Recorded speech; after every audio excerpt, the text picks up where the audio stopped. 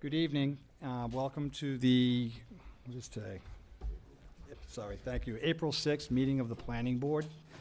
Um, Our first item of business is to re- review and approve minutes. I have minutes from February 2nd, 2023, and March 16, 2023. Is there any questions or comments relative to the minutes? I have none. Steve? No comments, other than I wasn't here for March. Uh, no comments on the March sixth one. They need, sorry, uh, Kevin's name was included, so he was not present, I think. March Is sixth. that all one. squared away, Doc? Yeah, yeah, we So, can, we can. make With that amendment, I think we should Be be all set. Jay, any questions? I do not either. I'll entertain a motion. You wanna move this? Oh, Yeah, I move that we approve the minutes from the February second, two thousand twenty-three, and March sixteenth, two thousand twenty-three meetings of the planning board. Do I have a second? Second. All in favor? Aye. I'm abstaining. Okay. Next item of business is to review and sign bills. I have uh, a few bills here. First one from Graves Engineering, 701 Boston Turnpike, second and third site plan review for $2,766.25. Graves Engineering, 295 Green Street, site plan review, $2,267.87. MDM Transportation Consultants Incorporated, 701 Boston Turnpike, traffic review for $5,400 totaling ten thousand four hundred thirty-four dollars and twelve cents. Do I have a motion? I move that we authorize the expenditures as just read by the chair. Do I have a second? Second. All in favor? Aye. Okay. Next item item of business is board member comments. I know We kind of messed, uh, changed it up a little bit. I'll start with you, Perna. Any Yeah, questions or uh, comments? No comments, Mr. Chairman, for this. Mr. Thomas? I have no comments this month, sir. Mr. Iliadi? Mr. Jerry? I have no comments. Mr. Rotalakis? No comments this month, Mr. And I Chair. have no comments either. So our first item of business is a new public meeting. It's for a proposed building and utility separation and EV charges, request for de minimis change for Cornerstone Bank, location 195 Main Street. I'm gonna recuse myself. Uh, Mr. Rotalakis, excuse me, Mr. Rotalakis is recusing himself. Please Thank you, introduce. Mr. Chairman, members of the board. Um, John Grenier is supposed to be with me here tonight, but you do have, I think, a, a plan in your file that shows in the red lines where the changes have been made. Um, All of these changes are the result of the pre-construction meeting that uh, took place uh, at the town hall. Um, It's, I know it's a little concerning to you that we're back here again for de minimis, but let me say that all of these different departments had the opportunity while we were going through the process to put in their two cents, as you know. Um, And these things came up only at the pre-construction meeting. So we made the changes. Um, We, because of the DPW wanted to have two utility lines in for the, for the um, uh, sprinkler system. Obviously, we're doing that. Um, We reduced the size of the canopy uh, to separate the buildings because uh, that was a request uh, to facilitate the maneuvering of emergency vehicles. Uh, That was at, I believe, the fire department's request. And as you know, we have a new uh, bylaw or regulation coming in about EV charging stations. Um, And by the time this property is fully developed, that regulation will come into effect. So the, the third change has to do with adding the spaces and the EV stations pursuant to that. I know we could have asked for grandfathering, but we might as well get it done while, while we're doing it. So um, those are the three changes, and and frankly, I hope you would consider these de minimis. Uh, The plan still remains the same, it's still a bank and, and the retail building, and nothing has changed in that respect. We've just reduced, as I say, the size of the canopy and adjusted things to meet the requests of uh, uh, two departments, frankly. Very good, thank you. Um, Any questions or comments from the board? Mr. Iliadi? Mr. Jerry? Mr. Thomas? None. No comment. I don't either, I- and, and I agree with you. Um, I know multiple de minimis changes tend to be frowned upon. I hate to do it. I really, I hated to do it, but it, However, in this case, it's understandable, and I understand with the new regulations coming down, it's going to have an impact. So fortunately, now people have a little bit more foreknowledge that this is going to be a, a component, so those that haven't brought plans before us, understand that that will be something you need to consider, so. Correct. All right, so um, I, I think this fits in the de minimis. Does anybody think otherwise? No, I agree, I agree, it's de I minimis. agree with that. Okay, so I'll entertain a motion. I move that we uh, approve the de minimis changes as presented for proposed building and utility separation and EV chargers for Cornerstone Bank at 195 Main Street. Do I have a second? Second. All in favor? Aye. Aye. Thank you very Thank you. Thank you. Hopefully that's the last. We'll see. Oh, it, it will be. No, I'm teasing. Okay. Our next public hearing is a new public hearing for proposed office building and site improvements, site plan modification, Shrewsbury Crossing 2 LLC. Location is 571 Boston Turnpike. Mr. Thomas, could you please read the public notice? The Shrewsbury Planning Board will hold a public hearing on Thursday evening, April 6, 2023, at 7 PM in the Bent Presentation Room at Shrewsbury High School, 64 Holden Street, hear the application of Shrewsbury Crossing 2 LLC, 100 MLK Junior 550, PO Box 646, Worcester, Mass. 01613. For site plan modification by the planning board as required by the Town of Shrewsbury zoning bylaw, Section 7F3. Construct a new 8,400 square foot office building as shown as, on plans entitled Proposed Site Plan Develop Documents for Shrewsbury Crossing 2 LLC, dated March 6, 2023. Prepared by Bowler Engineering, 352 Turnpike Road, Southborough, Mass. 01772. Stamped by John A. Kucich, PE, consisting of 27 sheets. The subject pro- project is located on the southeast portion of the property, located near the intersection of Grafton Street and Route 9, and consists in whole or in part of Shrewsbury Assessors Tax Plate 34, Plot 024001. Copy of the application and plans may be seen in the Office of the Planning and Economic Development Department at the Richard D. Carney Municipal Office Building, 100 Maple Avenue, Shrewsbury, Mass., and on the Planning Board website. Thank you. The Proponent, please introduce yourself. Uh, Good evening, Mr. Chair, members of the board. Uh, Am am I mic'd up? I think your mic is up there. I don't know, can anyone in the audience hear? Is this the mic? I think that's the mic. Okay, great. Excellent. Uh, So, for the record, my name is Joshua Lee Smith. I'm an attorney with the law firm of Bowditch and Dewey. Um, Here this evening representing the applicant, uh, Shrewsbury Crossing 2 LLC, in connection with this petition. Uh, We are seeking a a modification of a previously approved uh, definitive site plan uh, with respect to this uh, location, which is, we will get into a little bit more detail with respect to the project scope. Um, But as, as you can see from the aerial here, and uh, with me this evening as well are representatives uh, of the applicant um, uh, who will also be speaking on this, on this petition. Uh, We have a, a brief slide deck, and we promise to, to be as uh, brief as possible. This, this project is relatively straightforward. Um, I'm sure most of the members and, and the public are aware of, uh, of this site and have probably frequented it at various uh, tenants that are located at this site. Uh, This is a shopping center. Um, The property is about 12 acres in size. Uh, What you're looking at here is a depiction of uh, two shopping centers. Um, The shopping center that is actually the subject of tonight's, um, of of this application is the shopping center on the, on the right. Uh, The shopping center on the left is uh, owned by a different owner uh, and um, is the, the two interplay to the extent that there is a reciprocal, reciprocal easement agreement, uh, but that's, that's the extent to which they um, have a relationship. So I will advance to the next slide, and as you can see here, this is a slightly, uh, so this is the, the shopping center. We- refer to it as Shrewsbury Crossing Two. Um, The, this property, this lot is, it's approximately 12 acres in size, located in the Commercial B, uh, Commercial Business, uh, or CB zoning district. Uh, It's not within any overlay districts. Uh, The shopping center itself is comprised of uh, various retailers, including Work 'n Gear, uh, Staples, as well as most recently, uh, At Home. Um, The property is surrounded uh, by a mix of other retailers, restaurants. To the, to the right or to the east is the Benihana Restaurant, and as well as, I believe, it's a Meineke dealership. This is is clearly one of the, the town's main commercial corridors. So what the applicant is proposing uh, is the construction and development of an approximately 8,400 square foot building.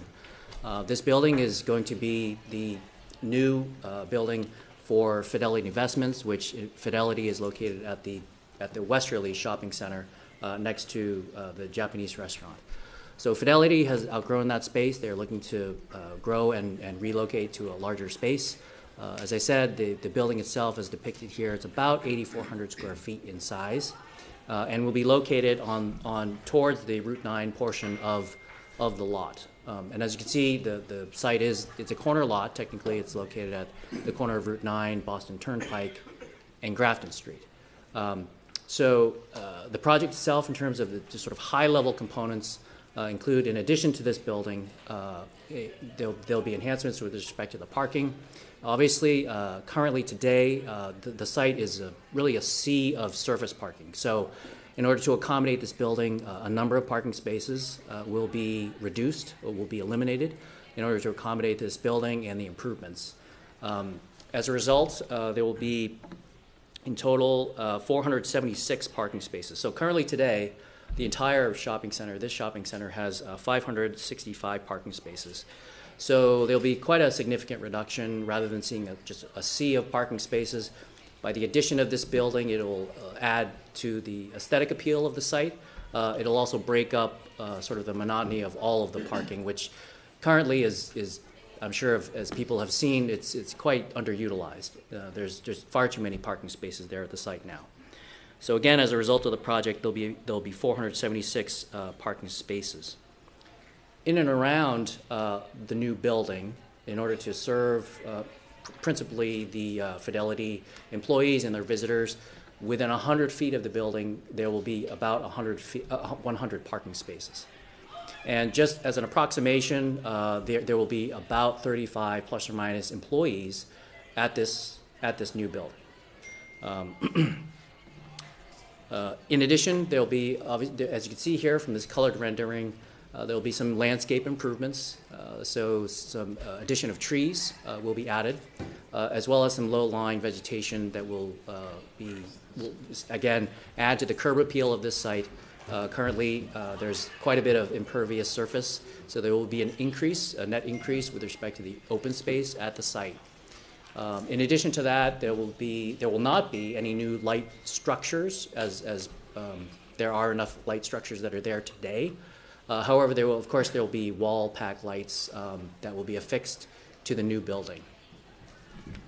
Um, there, there's really going to not be any negative material impact with respect to this project in terms of uh, noise, light, traffic. Um, in terms of traffic, trip generation, uh, it'll be de minimis. Um, again, with only 35 employees and uh, just limited number of visitors that are coming to and from this, this um, proposed building and this Fidelity Investments building, um, uh, the trip analysis that was done uh, anticipated during the AM peak M period uh, a range between 15 to 19 uh, vehicles.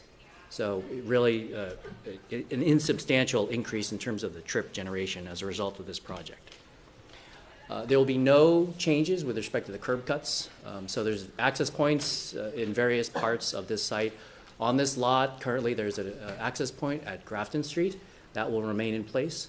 Uh, There's also an access point, a shared access point along Route 9, which shares with this, this shopping center and the adjoining shopping center. Lastly, there's a third access point um, off of Lake Street. So as you go down Route 9 heading west, uh, you take a right, you can, you can go onto Lake Street, and also uh, come in through the other shopping center and then to this shopping center.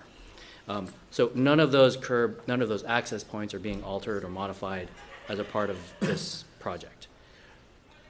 Uh, With that, I, as I said, um, we have some other representatives here who would like to say a few things with respect to the, a little bit more with respect to architectural features of the project and, um, and the civil components.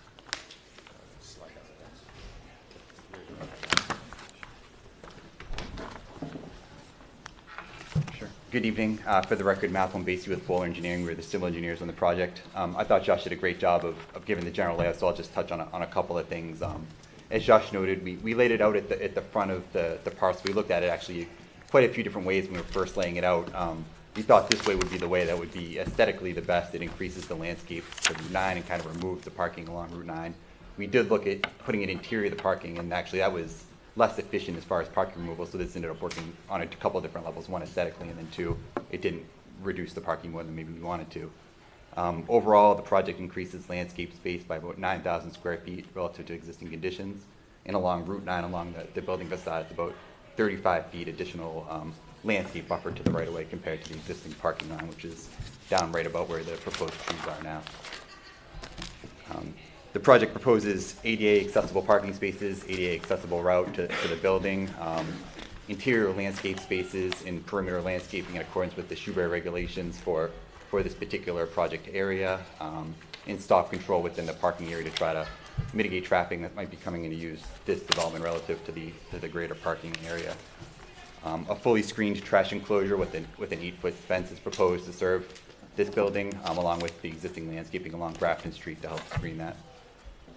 Um, We did prepare a a stormwater analysis, um, which was reviewed by the engineering department and the, the town's peer review engineer. The project reduces impervious area and landscapes place, so it's inherently reducing um, drainage coming off the site and an improvement relative to that. Um, Utilities, water and sewer connections are available on-site along with gas. Um, Electric, we think, connect, you're immediately contiguous to the site right at the intersection of Grafton and Route 9.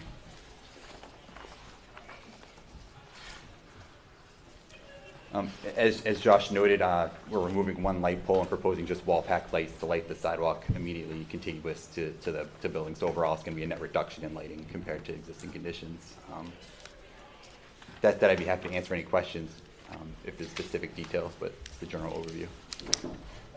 I know that we've gotten additional um, renderings of what the, um, the elevations are, so I'm sure the public would be interested in in seeing some of that.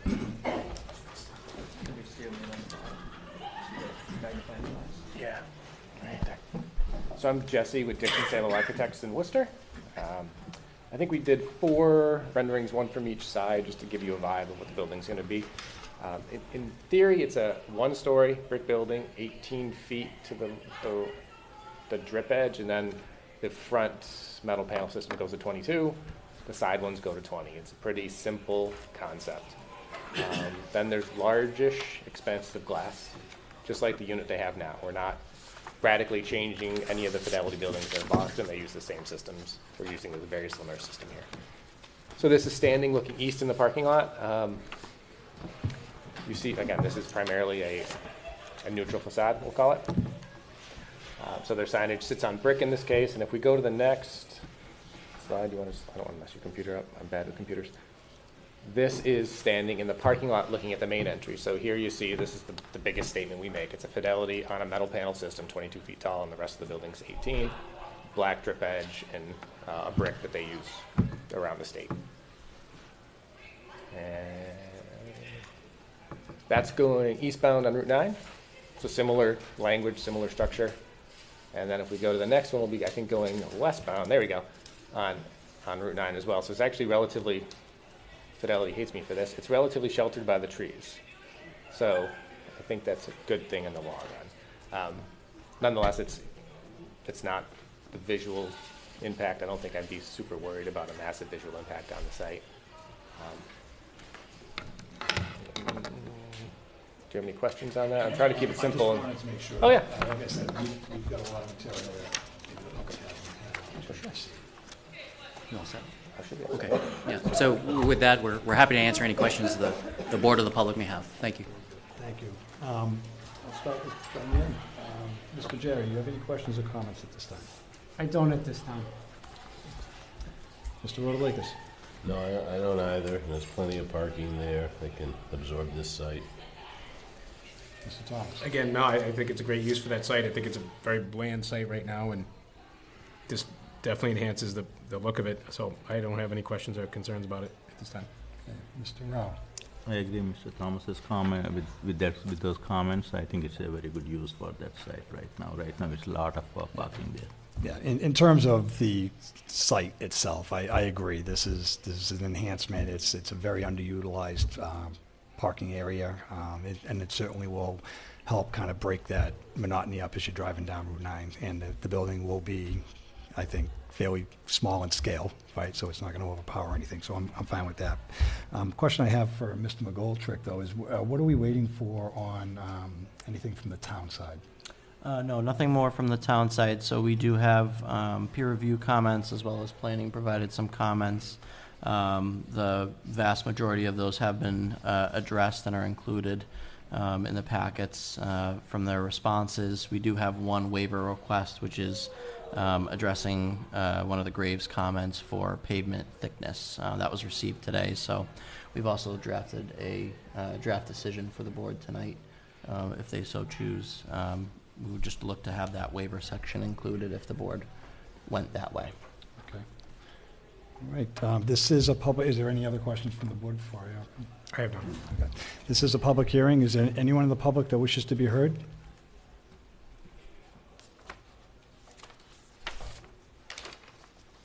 I see no hands. Did you, I, I didn't see the uh, draft decision. Did anybody, uh, did you get a draft decision? no. Uh, You don't, you didn't present the draft decision to us. Is this under review? Sorry, uh, we have a draft decision, we did not, uh, provide it to the board, but. So it looks like the, a draft decision is uh, being um, undertaken. At the, at the time, we don't have it, so um, at this time, we're not going to be able to go much further. Um, It, it seems to me, it- like you said, it's a fairly straightforward project, um, and uh, as long as the items that are addressed that uh, Graves Engineering and any town staff came up with, I, I don't envision this thing being a big problem. So um, I guess we'll entertain a motion to continue this public hearing. Um, Sorry, just Sorry.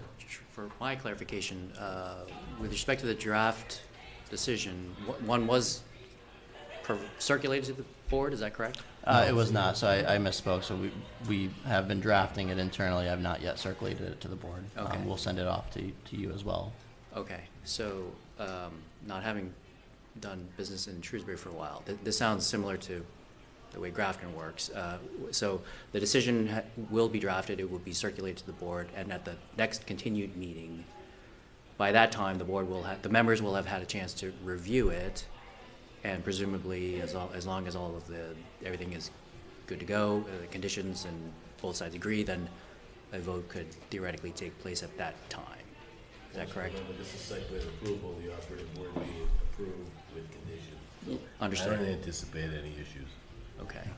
So there's no way that it could, that the board could vote to approve, subject to staff's, it, it, it- staff That- de- that's drafting the not- decision? That's not something that um, we've done in the past. and, Okay. um, Quite frankly, I wouldn't be comfortable approving something I haven't read. So Okay. um, you're a lawyer, you wouldn't be either, right? Understood. So in terms of the next, um, just timing wise, the next meeting is, what, when is that, Chris? Um, Yeah, there is a possibility that there might be a special meeting, um, maybe within a week, um, that if that meeting does occur, we could certainly, if it's just a deliberation, that could be an option. Um, So, I I don't don't know. want to delay So- your client if there's a, a construction issue. So, Are the excavator circling Grafton Street and Route 9? Is that what you're telling me? Uh, Their, their time is definitely of the essence, for sure. So wh- why don't we, uh, well, if we do this to, to next week, then we're gonna absolutely have to have another one next week. Right? I don't see how we're going to escape it either way. Right. I, again, where this is such a straightforward one, and normally we would have a draft decision, um, but unfortunately, we just didn't have the time to have it done yet. Um, so I guess we can entertain a motion to continue to next week then. I, I move that we continue the uh, public hearing on the proposed office building and site plan improvements, site uh, plan modification, Shrewsbury Crossing, uh, Roman numeral number two LLC, 571 Boston Turnpike, until Thursday, uh, Thirteen. uh, April 13th at 7 PM. Uh, do I have a second? Second. All in favor? Aye. Aye. So we should have that completed by then, okay? Thank you very much. You're welcome. All right.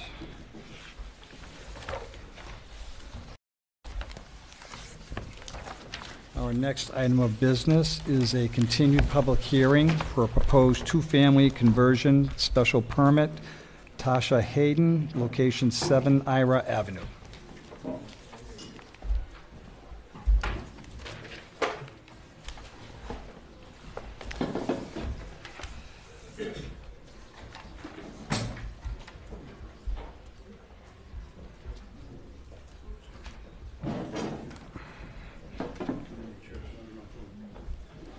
Good evening, Mr. Chairman, members of the board. I'm here to answer some questions, I believe, from last time we met, uh, last, uh, last meeting. Uh, There wasn't enough to have a vote, I guess. Right, I think we were waiting for department um, items to be addressed. Yep, so there's still um, the question of the utilities um, and being separated. That was the comment from um, Water and Sewer And and we, Selco. we responded to that a week ago, saying that it was acknowledged, we understand, and it's been budgeted in the, in the plan, in our, the financials. Yeah, we'll still need uh, revised plans to show that that Oh, change. I didn't, that did, that feedback didn't come back to me, so I, uh, My apologies. I guess we had a disconnect there. So you need, you need the site plan with the utilities showing on it? Correct, yeah, the revised Okay, that site plan showing the separate so- utilities. Understood. All right, All right, so, um, so unfortunately, we weren't going to be able to go forward based on the fact that we don't have a Understood. completed site plan, so. um, so we postponed it till we get those plans in your hands. Right, so um, I'm going to guess it, it's going to take a little bit of time to redo those, so uh, why don't we entertain a motion, to- oh, actually, before I go further. This is a public hearing, is there anyone in the public that wishes to be heard on this matter first? Seeing no hands, uh, I'll entertain a motion to continue the public hearing to the May, I would think? Yep. I move that we continue the public hearing on the uh, special permit for 7 Ira Avenue until Thursday, May 4th at 7 PM. Do I have a second? Second. All in favor? Bye. Aye. Sorry about the miscommunication. Thank you, folks. Have a good night. Thank you. Okay. Our next item of business is a continued public hearing. Mr. Rotalakis will be recusing himself from. It's for a proposed warehouse and distribution facility, site plan approval, Shrewsbury Land Property Owner LLC, 440 Hartford Turnpike. Um, I did receive a request um, for uh, continuance. Again, they're still working out some issues. Um, Does anybody have any questions or comment- comments relative to the request for continuance? I have none. No question, Chair. Okay. Um, I have no request, uh, no questions either, so I'll entertain a motion to continue this public hearing. I move that we continue the proposed warehouse and distribution facility site plan approval for Shrewsbury Land Property Owner LLC, 440 Hartford Turnpike, to our May 4th, 2023 meeting at 7 PM. Do I have a second? Second. All in favor? Aye. Thank you. Okay, brings us to our next public hearing. It is a continued public hearing for 1 to 7 Maple Avenue, Beal Commons, site plan approval and special permit, Shrewsbury Haskell MM LLC. Location is 1 to 7 Maple Avenue. If The applicant could please introduce themselves and give us. Thank you. Thank you. Thank Oh, you. thank you.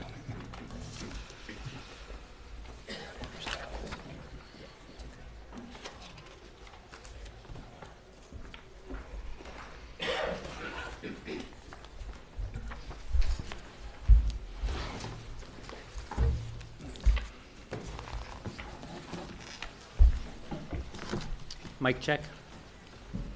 Mic check. Can everyone hear okay? Okay, seems to be okay.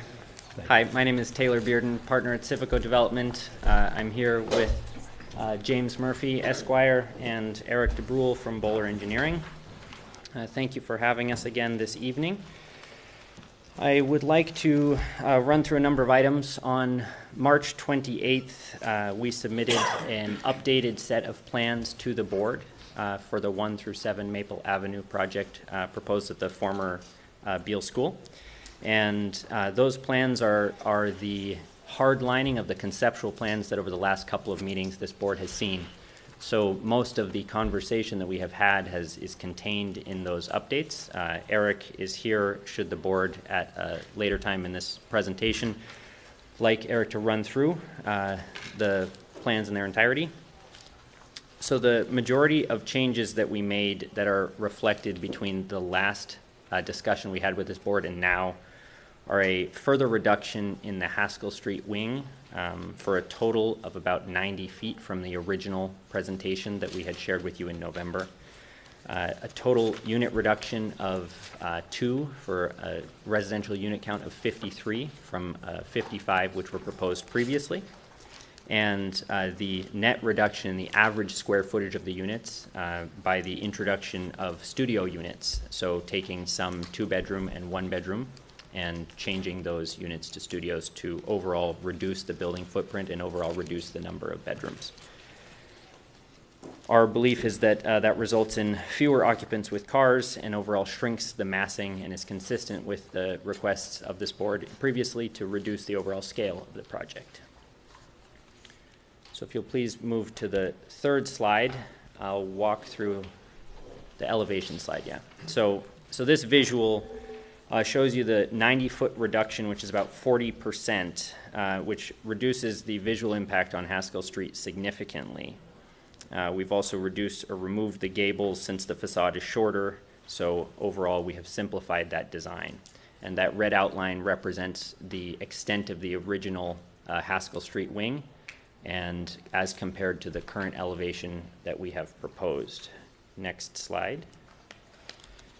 So this uh, flips to the rear of the building facing the parking lot. I'll bring your attention to the image in the lower left corner specifically because we've uh, simplified the roof line, but we've also removed those garden level units on that side. So you may remember that previously we had uh, full three three sets, three height, uh, three stories on the uh, parking lot side, whereas now uh, we've eliminated those. So the residential units uh, on the Haskell Street wing on the ground floor are only facing Haskell Street. Next slide, please. So in this uh, site layout plan, um, this just gives another visual to show the extent of the reduction along Haskell Street from an aerial view. So you can see that at the last meeting, we had proposed uh, what we were referring to as land banked parking. That has uh, now been eliminated, although the board had reacted favorably at the time, uh, to accommodate 146 spaces uh, without any compact spaces. So the changes maintained the overall number of parking spaces while reducing the net number of bedrooms, overall massing, uh, overall footprint of the building, and eliminated any proposal for compact spaces. Next slide, please.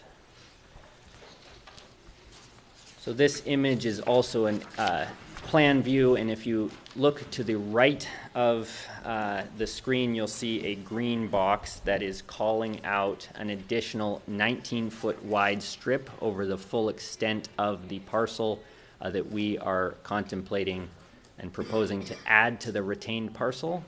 So the retained parcel that would be uh, deeded back to the town at the completion of the project would be another approximately 3,800 square feet. And what accommodated this change is, as you'll note there in the drive aisle, uh, there is no longer parking on both sides. So we were able to relocate that strip of parking that would have been fronting on the retained parcel and moved it over into the newly created uh, area where formerly there was a building footprint on the Haskell Street wing. Next slide, please. This uh, image also just represents, uh, the board had specifically requested we identify locations for snow storage, so we've called out a number of those on the plan. Again, uh, if it is the board's desire, Eric from Bohler Engineering can run through the plan in more detail, and uh, we'll cover this uh, with the print copy um, that's up on the stand.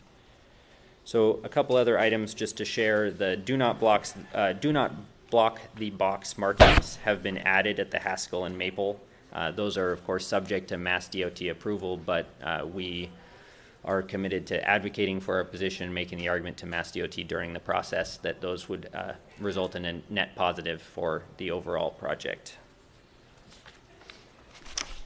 Next slide, please. So this slide just represents the numerical changes uh, that I just covered in the previous slide. So we're looking generally at a uh, fairly significant reduction in building footprint. I'll give you some percentages on the next slide. Uh, overall shrinkage of footprint, uh, gross floor area, as well as lot coverage. Um, our landscaped open space increased uh, nominally to 39% from 38. Um, We uh, had to reduce, or we weren't able to gain more partly due to the fact that we uh, had to accommodate um, the full-size parking spaces and and couldn't increase that buffer. Uh, The unit mix, as you can see, so that table there shows that we've added 14 studios uh, by taking away both one and two bedrooms for a net reduction uh, in bedrooms from 75 to 64. And uh, the retention, of course, of the 146 uh, parking spaces. I should just mention that uh, the unit mix changes were a result of the nine two-bedrooms were eliminated and seven one-bedrooms. Uh, So there was actually a majority of two-bedrooms that were eliminated with that change. Next slide, please. So in aggregate terms, uh, the building footprint was reduced by about twenty percent. Uh, the floor area by twenty-four percent, of course, because there are multiple floors, so that's obviously a larger reduction than just the building footprint. Fifteen percent reduction uh, in bedrooms because of that elimination of some of those twos and ones, and uh, this resulted in a uh, peak parking demand of uh, twelve fewer spaces, and this was validated by MDM's peer review. Next slide, please. So uh, we have uh, had a number of, of meetings subsequently with both Graves Engineering and MDM. As I mentioned uh, in discussion with MDM, we've agreed to a do not block the box strategy. Um, we also are in agreement to the suggestion of a no left turn signage at the driveway exit um, for during the peak weekday hours. Uh, per our discussion with MDM, uh, we are not recommending uh, signal recoordination because it would simply shift the burden to another part of, of the town and doesn't result in a net positive for the overall area. And uh, our proposed on-site parking supply now exceeds what our uh, shared parking study um, calculates as uh, necessary for this commercial and residential mix by about 41 spaces. So those 41 spaces are now effectively buffer spaces, uh, and that's inclusive of those on Haskell Street. So eliminating uh, the, the public parking on Haskell Street, the buffer in the actual surface lot itself uh, is 31 spaces uh, based on our study. Site plan review comments from, uh, from Graves Engineering. All requested plan updates have been made. I should mention to the board that, as I understand it, at 3 o'clock, uh, there was a resolution that may not have made its way to the board um, on that final Graves Engineering comment. Um, But I think, I don't know if, if uh, Mr. McGoldrick wants to make any comment on that, but, okay, so No, we're, That's fine, and we have Graves here as Yeah. well. um, So, uh, next slide, please. So as I, as I've said, if you're, uh, if the board requests it, uh, we can run through the plan, uh, the civil plan. Uh, But I also would just like to mention that in, in the aggregate, it's our perspective now that uh, we've, through working with the board and public comment, in addition to the select board and town staff, we feel we've been very responsive to the input from uh, various stakeholders, and that's resulted in this iterative outcome that you see now. Um, I would request that, uh, consistent with your usual practice, um, in whatever way that, that may be, that we kind of follow your lead to walk through uh, any questions you may have from the updates tonight, but also uh, conditions of approval that you may see uh, or have questions on. And we're here, we have our counsel here, and uh, traffic and engineering to answer any questions you may have. So with that, I, we're here for, here for feedback and comments. Thank you. Um, I guess I'll open it for the board. Does um, anybody require additional um, information relative to the site plan um, for the changes that have happened from the, from the uh, engineering staff? Specific to all the changes here, like the smaller building and, I'd like our peer reviewer to confirm the, the traffic, M- Mr. Michaud to confirm the acceptability of the, uh, parking and, uh, circulation and it. Okay. 'cause that Well, was one Mr. of my Michaud, you primary- happen to be here, so if you could please give us an update. Thank you, uh, Chair and board members. For the record, Robert Michaud of MDM Transportation Consultants. So we've issued a, uh, supplemental review letter stated to the 5th. Uh, It's based on the revised site plan layout. Um, Many of the recommendations that we've identified through ongoing discussions with the proponent and departments have been incorporated in that plan set, Um, so we have no further comment on that. Um, We did receive uh, some uh, supplemental comment from the fire department that had to do with swept path analysis relative to the fire apparatus. Um, Supplemental exhibit has been produced by the proponent uh, and confirms that there's adequate maneuvering area for various um, portions of the site for that particular purpose. So we concur that uh, the current site plan meets all of the applicable standards of care, uh, recommendations, and safety, uh, particularly from the fire perspective. On the uh, parking issue, um, you know, we, we did a- another deep dive, if you will, on the parking because we knew that was a central concern um, uh, that we identified early on as well. The reduction in bedroom count and the net reduction in commercial space and building area uh, cumulatively have reduced the parking demands associated with the project. In particular, during weekday evening and midday period, uh, weekday midday periods when uh, residential parking demand tends to be coincident with uh, potential commercial uses on the property, restaurants in particular. We were focused on that period as uh, the critical time. Uh, And the combination of demand site-wide is now substantially reduced from where it had been uh, by at least between 12 and 14 vehicles.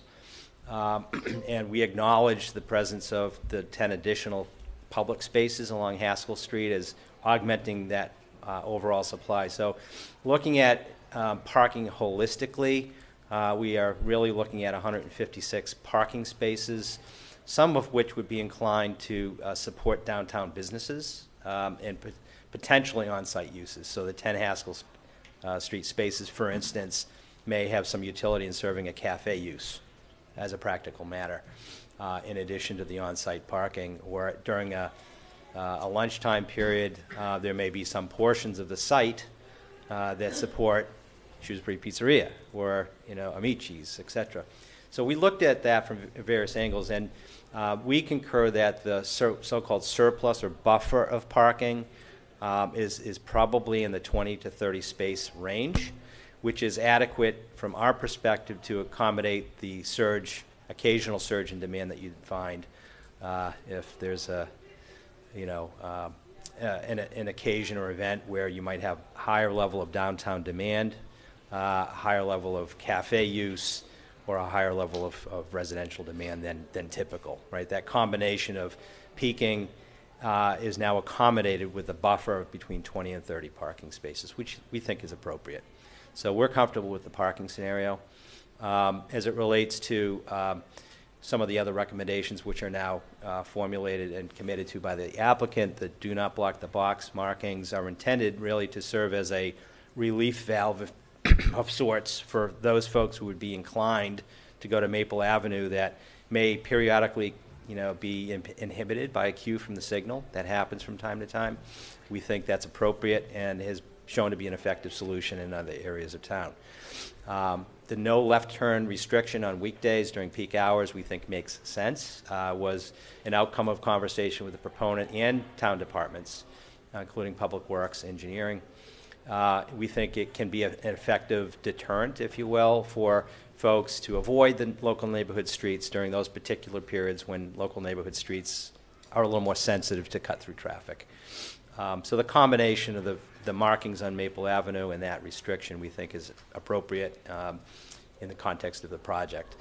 Finally, uh, as it relates to signal coordination, um, you know, we'd very much like to see coordination happen, but the applicant um, has prepared an analysis, which we've reviewed, that would show, excuse me, show trade-offs. Um, And those trade-offs would really uh, perhaps shift the burden of queuing from Main Street and, and the east-west connections to the north-south connections. And uh, the unintended consequence of that might be a shift in traffic to avoid the signal in the north-south connections, uh, which really serves no purpose, right? So it's a net sum zero game here. Um, The relative impact of the project from a traffic perspective, and I'm talking about new traffic, uh, represents a small percentage of the overall traffic in the downtown area. And so our position would be, and our recommendation would be that um, this project does not independently trigger the need to do drastic measures downtown. There are pre-existing issues for sure. Uh, We think that the types of mitigation that are being committed to are appropriate in the context of the impact of the project. Uh, We think they're, they're reasonable, and we don't believe that there are additional means or measures that need to be applied in the downtown area as a function of this project at this time. So that's it in a nutshell, and I, I'm glad to do a deeper dive if you have specific questions on it. Thank you. Any, okay, so I'll go around the board. Um, I'm not sure if you're voting on this one yet, but Mr. Iliad, do you have any questions or comments relative to the changes? No. Mr. Jerry? I just, I just had a couple. Um, by changing the unit mix, w- how does that impact your financial projections?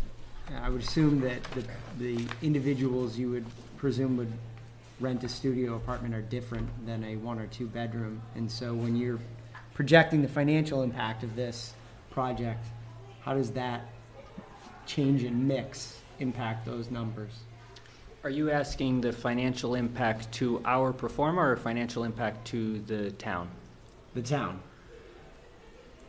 So from a just kind of high level, I think the only material change in the reduction in bedrooms is an increase in the likelihood or a decrease in the likelihood that there would be school-age children.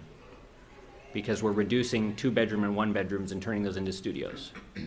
Otherwise, it's not a material impact to our expectation for tax revenue or uh, meal tax generated in the commercial, for example. Okay. The second question I had was just with respect to the elevations you showed. It came up at a prior meeting, um, and I went back and reread the architectural design standards. And there is a note in there that for large-scale buildings, that there be dormers to break up the roof line every thirty feet. It seems as those have still not been incorporated on this. So I'd welcome comment from anyone else on the team, but I'll give a, a cursory answer to that, which is that on the, on the Maple Street elevation, uh, that's, that's just a little bit over 30 feet there of uninterrupted roof span. And uh, so the introduction of a dormer there, considering that there's, there's ample examples in other New England town centers of uh, roof lines that are not broken up by dormers, uh, the introduction of a, a fake dormer there uh, seems unnecessary based on our interpretation of the architectural peer review. Uh, The Haskell Street side uh, is longer, it's about 60 feet. Um, But if we were to introduce a single dormer, for example, to break that up, it might look a little arbitrary. Right. Um, So although I understand the, the, the intent of the bylaw, obviously, the, uh, the other variable here is, you know, designing a building consistent with New England, you know, traditional New England town centers that's aesthetically appealing. And so in, in this case, the uh, adherence to the bylaw, just uh, strictly based on the design of this building, I think would appear slightly arbitrary. Thank you. Mr. Rotalakis? No, I'm glad that uh, the applicant uh, has reduced the amount of bedrooms, because for me, the big issue was uh, parking. You know, I, I thought that the area could handle the traffic. Um, Parking uh, was going to be the big issue on site, and the applicant didn't have uh, a really good answer at the first couple hearings about parking, you know, you know, with respect to controls that that you thought it could implement, but uh, in light of the fact that Mr. Michaud has confirmed that uh, the pa- parking meets the applicable uh, standards and uh, the interior circulation appears to work, um, I, I'm happy with that. I'm also happy with the fact that uh, the applicant brought the size of the uh, project down in terms of the square footage, the floor area, and it just doesn't seem to, uh, when you look at an aerial view, it doesn't seem to as much overwhelm the site. So those are my comments. Thank you. Mr. Rao? Uh, I echo comments of uh, my colleagues here, board members. Uh, You have uh, reduced both the building floor area and uh, bedrooms very significantly. Uh, in terms of the count of the units themselves, it's not as much, but I'm sure there are some financial reasons from your side to not go down on those. Um, it's, it's a decision for, for you, you know, but um, certainly it has come down and parking um, would help at this uh, level. And um, I think um, it, it's definitely a better project now. so. Mr. Thomas? Excuse me, I have a question about the, um, the parking space buffer we were speaking of earlier. So I know when you reduced the building the first time, there was gonna be green space and then possibly, um, parking spaces needed. And then, now that you've reduced it more, is that continue to be green? I don't remember looking at the plans. It's gonna be parking? So the, the way that we're contemplating it now is there is no, there is no proposed land bank option. And the, the geographic area where previously we had proposed land bank spaces, which would have been green in the near term, uh, that is now parking. Okay. It's so current parking, proposed as to be built with the project, not land banked for future use. It's good, okay, then it's good that you gave back more of the green space from the, from the park, um, that. I do appreciate the fact of you listening to me and the rest of the board about the massing and the, uh, and the, not so much the unit count, but the bedroom reduction. I think the, the studios are a good idea. It definitely makes it better. Um, and cutting down on two bedrooms definitely makes it better because I know a lot of the concern is about children, school-age children and stuff, and I think that would help in reducing that, or at least a possibility of reducing that, which I think is a good thing. So as of right now, I'm, I'm good with that, and um, I have no more comments right now. And uh, I- I'll echo the comments. Um, Thank you for, you know, having the ears open and listening to both the board and the public's comments to scale this back to, I think, is a much more manageable um, application of the site and what the vision of the town center is, is looking to be. Um, Question I have, uh, and you didn't mention it, but I believe this is true, with the reconfiguration of the parking area, so the, the advi- the reason why the, bo- why the bank parking is no longer is we've gotten rid of the compact spaces, so we kept the 146, but we lost the bank parking, so that was a f- element of it, I understand that. But there's also, you're pre-planning for 23 electric charging stations, is that true? Uh, so we're planning for two EV charging spaces, spaces to be built currently, one of which would be accessible at the knuckle, the interior knuckle of the Yeah. parking area, and then twenty percent EV ready in addition to that. Okay, so, very good, so Yeah. there is going to be some EV-ready Correct. um, situation that's going to be Yeah, that incorporated. represents thirty, so thirty EV ready spaces, two EV spaces to be built at construction. Okay. One of those built EV spaces to be accessible.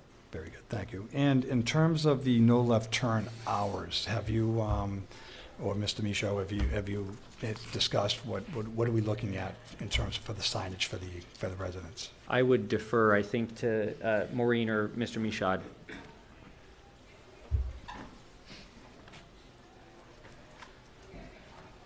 Evening, Cory McHugh from McMahon Associates. Uh, I believe we had discussed the typical uh, morning and afternoon peak hours, seven, generally seven to nine AM and four to six PM. Seven to nine and four to six? Yeah. Thank you. Very good, thank you. I just want a clarification on that, thank you. Um, As I said, I, I- I, I am, um, so I'm of the understanding now that the dormers are definitely something that, even though it's part of the, the design standards, it's, it's something that you feel is arbitrary in this particular case? Correct, in this particular case, not, not calling into question the, the intent of the bylaw, but I think that we are, uh, we are producing a, a traditional contextual building that just based on the specific span for these, these two wings of the building, uh, to meet that would, would, would appear visually slightly disharmonious and, and uh, arbitrary, but it also, they would be false, false dormers to begin with. So it would be a- an architectural uh, feature only, not, not functional. Okay. And all I would do is add that the, the board does have the power, as you probably know, uh, if there is a deviation from a shall in the design standards, that you can incorporate it as part of the special permit. Understood. I, I- I know that we have guidelines, and they're typically guidelines to help address some things, and, and I understood, so I'll take that into consideration. Okay. Um, Thank you. So, uh, no, any other questions? Any questions from the town staff? Nothing further. Okay, this is a public hearing. Is there anyone in the public that wishes to be heard on this matter? Yep, Yes, sir. Please come down and introduce yourself, your name and address.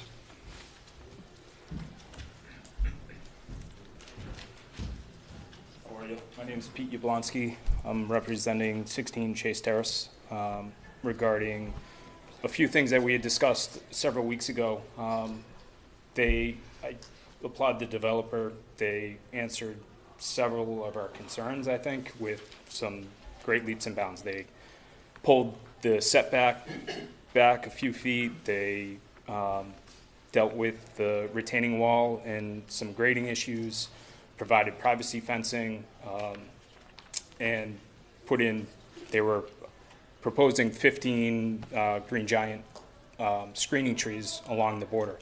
I think all of that's well and good. Um, But again, there's a couple of details I think I would like some confirmation on.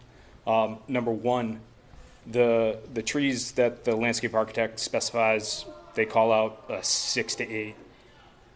That's not how they're purchased. It's a, it's a, it's a minor detail, but if we're gonna plant trees that are this big, and we have a wall that's this big, it, it really doesn't satisfy screening for 12, 15 years. So, you know, there's some concerns there. Um, in addition to that, one of the main things that we had talked about before was, you know, coming up with some sort of understanding of what they're going to do along the border in terms of tree removal. So there's a couple of trees on there, and there's agency in the landscape architectural plan and the, and Bohler's plan, where Bohler requests, you know, to be removed. Basically, the entire tree line, everything that's on, either on the property line or, you know, before it, to be removed. So some sort of clarification as to what you guys are doing to the canopy along that border, I think is kind of critical because the landscape architectural plan shows one of those main trees that's of concern to my client that, I mean, it- truthfully, the way it's set up right now and the way it's designed, it can probably stay. It's just a matter of when the PM's in there and calls in the tree guys, we need to understand, you know, w- what are they gonna do? Uh, Response? Yeah, do you, do you happen to have I the think I plan? do. I have it, I have a Is hard that it? copy. Yes. Yeah. sir. So, I think, uh, one of the comments was about the, uh, the canopy being removed, so I'm thinking maybe on our demolition plan, it probably showed it to be removed, but It's- I don't think that necessarily maybe was the intent. Are these, the three trees, is, are those? That's, that's correct. So, Have you seen this current plan? I don't recall. I did, I this did, one, I okay. looked at that, yeah. So, uh, I guess bring the board up to speed. Effectively, um, the landscape architect is showing 15 ar- arborvitae or green, I think green giant arborvitae planted at six to eight feet, I believe, uh, six to eight feet. And in speaking with her before the spacing, um, she thought it was important for the spacing to allow the trees to grow to maturity. Um, and if the trees get any tighter, the, the root area wouldn't have, uh, there's less success um, if you clump them close now. So she was comfortable with, with what is being proposed. I know you mentioned I, I, I think the, the spacing is correct, the for spacing sure. is fine, okay. Um, it's, it's about the specification on the actual size of implementation of the tree. Right, so At I the guess time of this question planting. is, So where exact- we're- you know, you what know, height Yeah, would you out, be out- out installing at the at the street, we've outset? got three and four inch caliper trees. It's fantastic. I think that's great for Main Street. I think, you you know, those oaks will look great. Um, but in terms of privacy, um, again, you know, for a client that's aging, they, they're not gonna see any return out of anything that's planted there. You know, it's, it, seeing something that, that creates more privacy than just the fence line would be great, but that's just our comment. You So did, uh, The trees staying, I would, we still get clarification. So on the trees. Back, back to the tree removal. Right. y- I, So the three trees that are much larger caliper to the top right of the plan, those are the existing trees. I think that the landscape architect believes can remain based on the retaining wall. Um, Are you suggesting, are there more trees being taken No, out? no, I, I think that's fantastic, but the landscape architectural plan, when it comes time for implementation and when, if and when this project does move forward, will be about somebody looking at the demo plan and saying, to be removed. And the tree guy comes through and clears everything, and he says, well, that's what was on the plan. Do we So- have the demo plan? Maybe we should, I want to take a peek at the demo plan, because I think, I think maybe what you're getting at might be just a clerical error on our plan. It could be easily, Can this be something addressed at a pre-construction meeting? Yeah. It, absolutely, I, absolutely. It- It's just, it's something that needs to be said publicly and needs to be brought With some to pink attention. ribbon, And you can Yeah. tie it to the trees. I think so. That's We, it. we hear the concern and are consistent with the landscape plan as shown. Those trees that uh, the is referencing are intended to stay, and so whatever is necessary to convey that in, in any subsequent communication, we will agree to that. Okay, so, m- m- Mr. Go- McGough, can you take that down as a condition, just to ensure that it's in the, in the- whatever decision is drafted? Thank you. Great. Thank you. Thank you, guys. Is there anyone else in the audience who wishes to be heard? Yes, ma'am.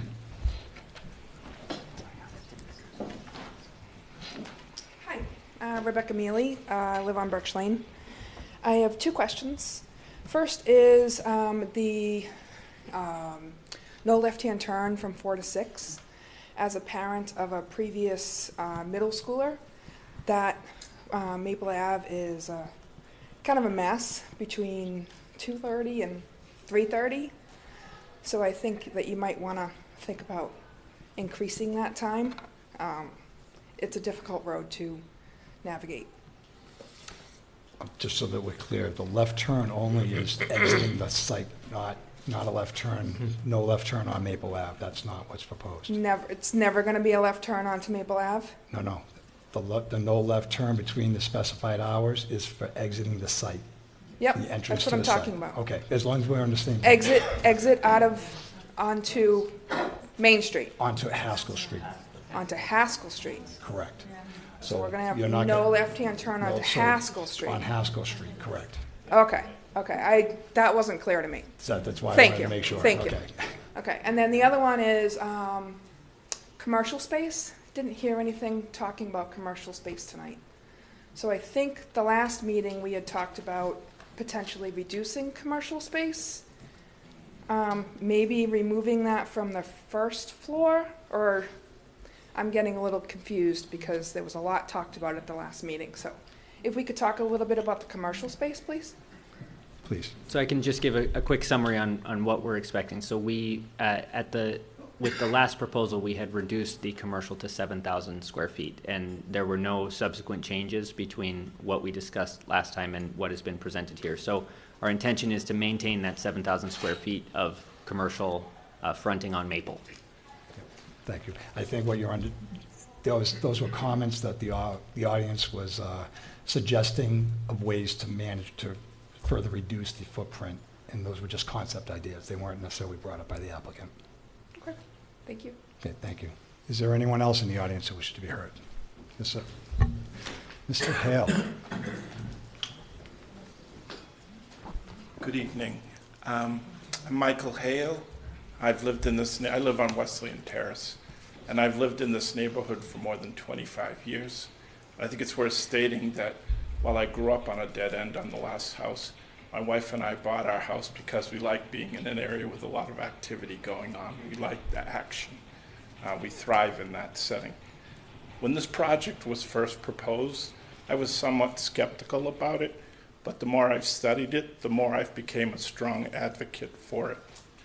Um, let me start by saying, though, that in the previous hearings, there's been some of the critics of the project have expressed concern that this isn't Hudson, this isn't downtown Concord, and I couldn't be in further agreement with them in that.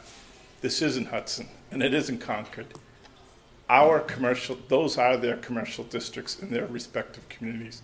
Our commercial district clearly is in the Route 9 area. That said, in West Concord and in West Acton, there are small village districts that exist. And those small village districts have small businesses, restaurants, bakeries, and that's what we, my wife and I, envision for the town center a reimagination of the town center to bring more commercial activity into town that will support the 1,400 plus people who have the ability to walk and enjoy that. So that's our primary uh, interest in this. Um, you know, I think some of the buildings in the town center are going through facelifts as we speak. You see it at the Daniels building, the Daniels Insurance Building. The new owners are really putting a nice fresh coat of paint on it. They've taken down a lot of the scrub brush bushes, and it, it, it's starting to look very nice. I think you'll see something similar next door at the old Walgreens building. And the woman who recently purchased 524 Main Street, the old grayish brown brick building, she intends, and she's putting a new facelift on that building opposite Westward Road. Um, she intends to put a holistic wellness center in there. I'm told she has a very successful business over by the Greendale YMCA, and we would welcome that type of business in our downtown district. And so I think this project comes at a good time because it's coming at the coattails of these projects and it dovetails nicely into the revitalization of what we refer to as our small little village district in the center. I think I support the project because I want to create a neighborhood that I can walk to places of community congregation.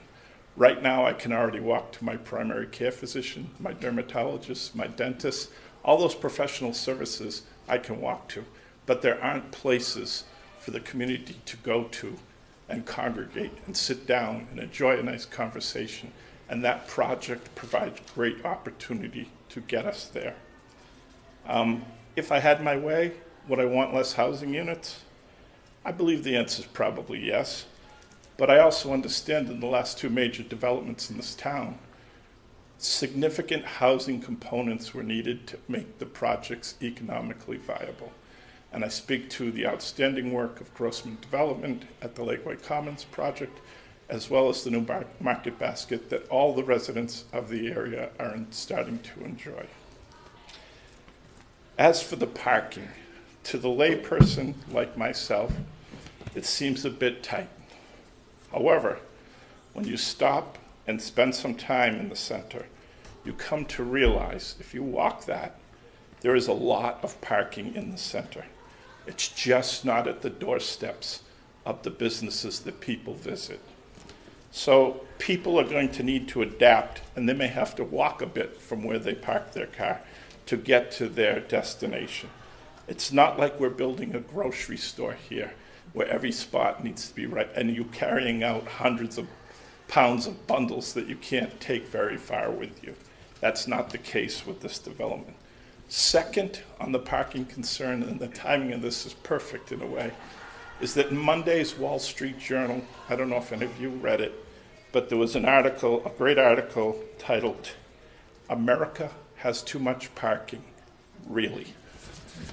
And so the gist of the article was the communities across the country are rethinking parking requirements as paved lots and parking garages are partially empty. Younger populations seek alternative means of transportation rather than the typical two car household. And many people are working from home. You know, and lastly, you know, this project is going to generate, in all likelihood, more traffic on my street, Wesleyan Terrace, which is a bypass to avoid the Maple Ave Main Street intersection. And my wife and I have talked about this, but willing to accept that as a trade off in exchange for, and we're putting a lot of um, trust in the developers of this project that they will fill the, the retail space with places of, where the community can engage and enjoy a conversation and bring people together rather than divide the community. So that's my Thank you. two cents. Is there anyone else in the audience who wishes to be heard? Yes, ma'am.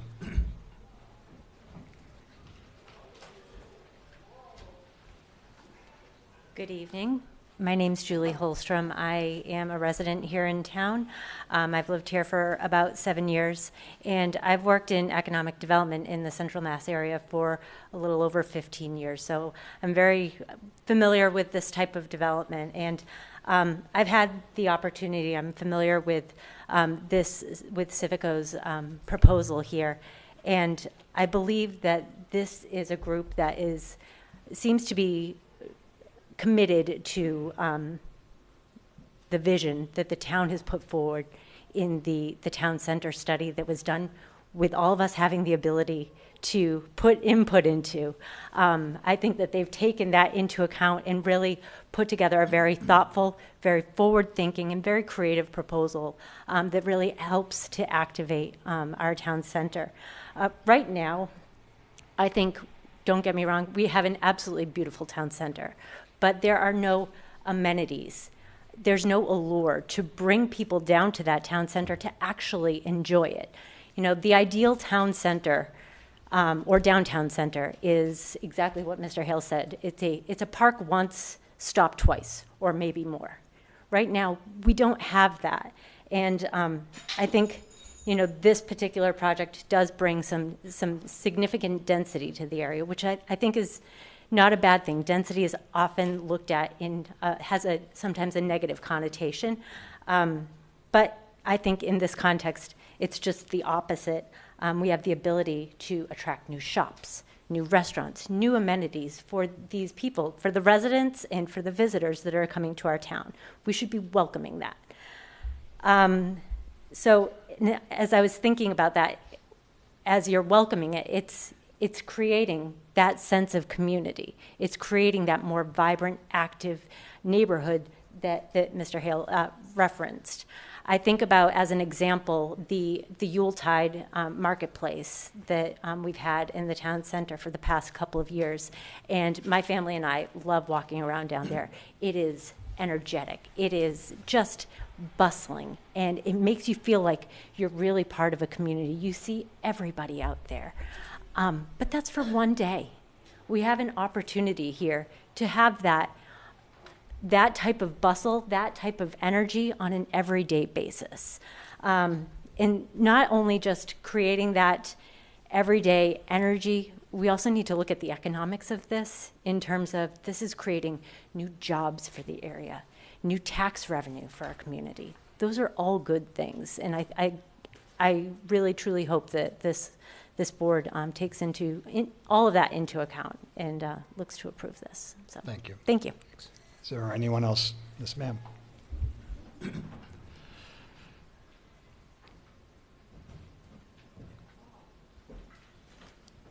Hello, I'm Lisa Bartone, 702 Main Street, and I too am a proponent of this project, like the last two speakers. Um, I'll try not to repeat everything that they said, but add one thing that they didn't mention. Um, just to give you a little bit of background to understand my experience in projects like this, I've been on the Shrewsbury Development Corporation for the last 15 years, and that's an economic development organization in Shrewsbury. I've also been on the zoning board for the past 12 years, so I'm uh, used to supporting development like this while also protecting our abutters. So this has been a very interesting project. Um, we had a lot of uh, critics of the project at the last hearing, so I wanted to make sure you heard a different uh, viewpoint. I'm also a abutter of the town center district. So I do I live at 702 Main Street. I am not a direct abutter of this property, so I really feel for the abutters, direct abutters. So please make sure you include those conditions that benefit them. Um, but I do walk to the center of town nearly every day, and I, uh, like the last speaker, I enjoy the Yuletide event. I do know that um, a vibrant town center is going to have an impact on me. Um, my life is going to change. It's going to make it really hard to get out of Bruce Avenue. It's already hard. But I'm a proponent of uh, vibrant town centers, which have a trickle down effect. In my experience with the Shrewsbury Development Corporation, I researched the impact, the positive impact that vibrant town centers can have to the entire town and municipality, not just in the area of that town center district, but it's going to encourage other development that we have highlighted in our master plan. It makes Shrewsbury a very uh, attractive place for the right types of businesses that we want in other areas of Shrewsbury. So I'm, uh, again, a proponent, and I hope that you'll approve with conditions. Thank you. Thank you. Is there anyone else? Yes, sir. No, with the tie, yep. If you wore a tie, you'd be next, I'm sorry. Just te- I'm just teasing. I'm used to people going over my head. Thank you. Uh, My name is Dan Goodykants. Uh My family and I live at 33 Colton Lane, uh, near the town center. And I first want to thank the planning board for all of your, your work. Uh, You spend a lot of time throughout the year serving the community, and I appreciate all the volunteer hours uh, for everything that you're doing. Um, I rise to tell you that I'm very excited about this project, and my family shares that enthusiasm. Um, First of all, I, I think it's important to point out that I appreciate what has been a thorough, comprehensive, transparent, and a reflective process too by, by your, uh, the the partners of Civico and, and the planning board. Um, The Shrewsbury Town Center study, this project reflects what's in this study. And the community said, this is where we want to go. Uh, So I think for that reason, it's important to um, uh, move forward. I, I also think that, uh, you know, I know sometimes, depending on a project, we might say, it's okay somewhere else, but not in my backyard. I want you to know, I want this in my backyard. Um, I'm through the town center every single day, going to work and, and coming back. So I know what traffic is like. And I know over the years, the 20-plus years that we've lived on Colton Lane, that uh, Maple Avenue and Main Street, it's, I hate to say the word deteriorated, but it's not something you're proud of. Businesses are abandoned, they are weed strewn, we can do better. This project is not the only project, but this project can be a catalyst to show that we can do better, just as some of the other things have been mentioned by, by my neighbors, um, and the other amenities and, and uh, opportunities that can happen. So from my perspective, my family's perspective, the town center has languished for far too long. It's been neglected. The town center study, the select board, our town manager, and others are beginning to pick it up and revitalize it, and this is the project that we need to get going on. I hope you can improve the conditions. Thank you. Thank you. Thank you. Sir with the blue jacket, yes. Uh, My name's Danny Cobb. I'm at 12 Redcoat Road. Uh, Longtime listener, first-time caller. So, um, uh, first of all, I'd like to thank you for all you guys do. Uh, Your patience and persistence through all of this, your uh, uh, ability to move things forward, keep things calm, keep things on target is uh, uh, admirable. So thank you very much for that. And I'll attempt to do my part to help you out uh, as as you do that. Um, I'd also like to say that, uh, to start off, you can be a huge fan of a park once walkable center of cultural, civic, social, economic vibrancy. I got all the buzzwords in there, I think I did. Um, and still not be in favor of this particular project. Um, I, I echo most of the sentiments that some previous speakers said when they talked about wanting activity downtown, wanting, wanting uh, uh, uh, more business and services downtown, wanting, wanting those sorts of things. Uh, I've been here 38 years, seems like just yesterday, and uh, uh, since those days, I used to sit at the Center Dairy Bar on Saturday mornings and have lunch. I haven't had the opportunity to do that, you know, what's this been, 30, 35 years, something like that. So look, look forward to an opportunity to do that. Um, Mr. Goodikants referred to the uh, town center plan. I spent a lot of time in that plan, uh, a lot of time in the town center vision uh, uh, report, a lot of time in the master plan. I just have a couple of notes uh, uh, that I'd like to read. Mhm. I also have a couple of, of comments that I might save for later because people gave them to me knowing I was coming tonight. They're at Holy Thursday services, so they couldn't come. So if, if you end up with a little time at the end, I'd love the opportunity to, to come Absolutely. back. So thank you. Um, so the master plan, which I think uh, is one of the uh, consistency with, is one of the, the biggest criteria that uh, that you use for granting the special permitting uh, granting authority, says. Uh, you know, support the town center as a focal point for bringing community together through social, economic, and civic activities. Great. I think that has been consistent. I went all the way back to 2013, some of the inputs into the 2016 document and beyond. That has been a consistent theme throughout. All of the, the benefits that we're talking about have been consistent themes throughout. The question is, does, is this the best option for the town to accomplish those things? And for a number of reasons, I don't feel that it is. Um, uh, there's no mention in those documents with regards to developing the town center um, for dense housing. And by virtually any definition I can find, this is a pretty dense housing proposal. Uh, I tried to do the math on the latest documents that were uploaded. I think we're at 88% residential versus 12% commercial on a square footage basis or, or something like that. Um, that's, that's a stretch to call that even mixed use, um, uh, where the expectations set forth in these documents talk about uh, commercial on the first floor, uh, maybe one floor of, of uh, residential above. Okay, two if you're, you know, if you make it make it fit in with the right dormers and things like that, which maybe gets you to 66% residential. You know, two, two, two thirds residential. Um, still doesn't, you know, do, doesn't accomplish that. The residential drives the overhead and the drag on parking, on traffic, and all the things that nobody wants, but we're willing to tolerate if we get the things that we do want. Problem is, with 7,000 square foot of commercial, we aren't getting the things that we want there.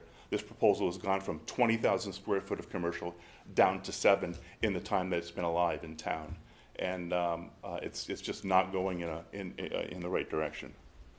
Um, the uh, town center vision as an extension to the um, master plan says that uh, uh, generally speaking, retail, office, service, restaurant use would be the focus for the ground floors. Importantly, as discussed earlier in the report, uh, we, the market for residential use is very strong in Shrewsbury. Some level of residential development will likely be needed to support the viability of, uh, of commercial use within this district. I think we get that.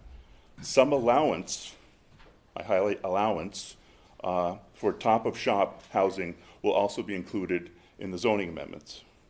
So, with the backdrop of all this, my question is how do we interpret what some allowance means?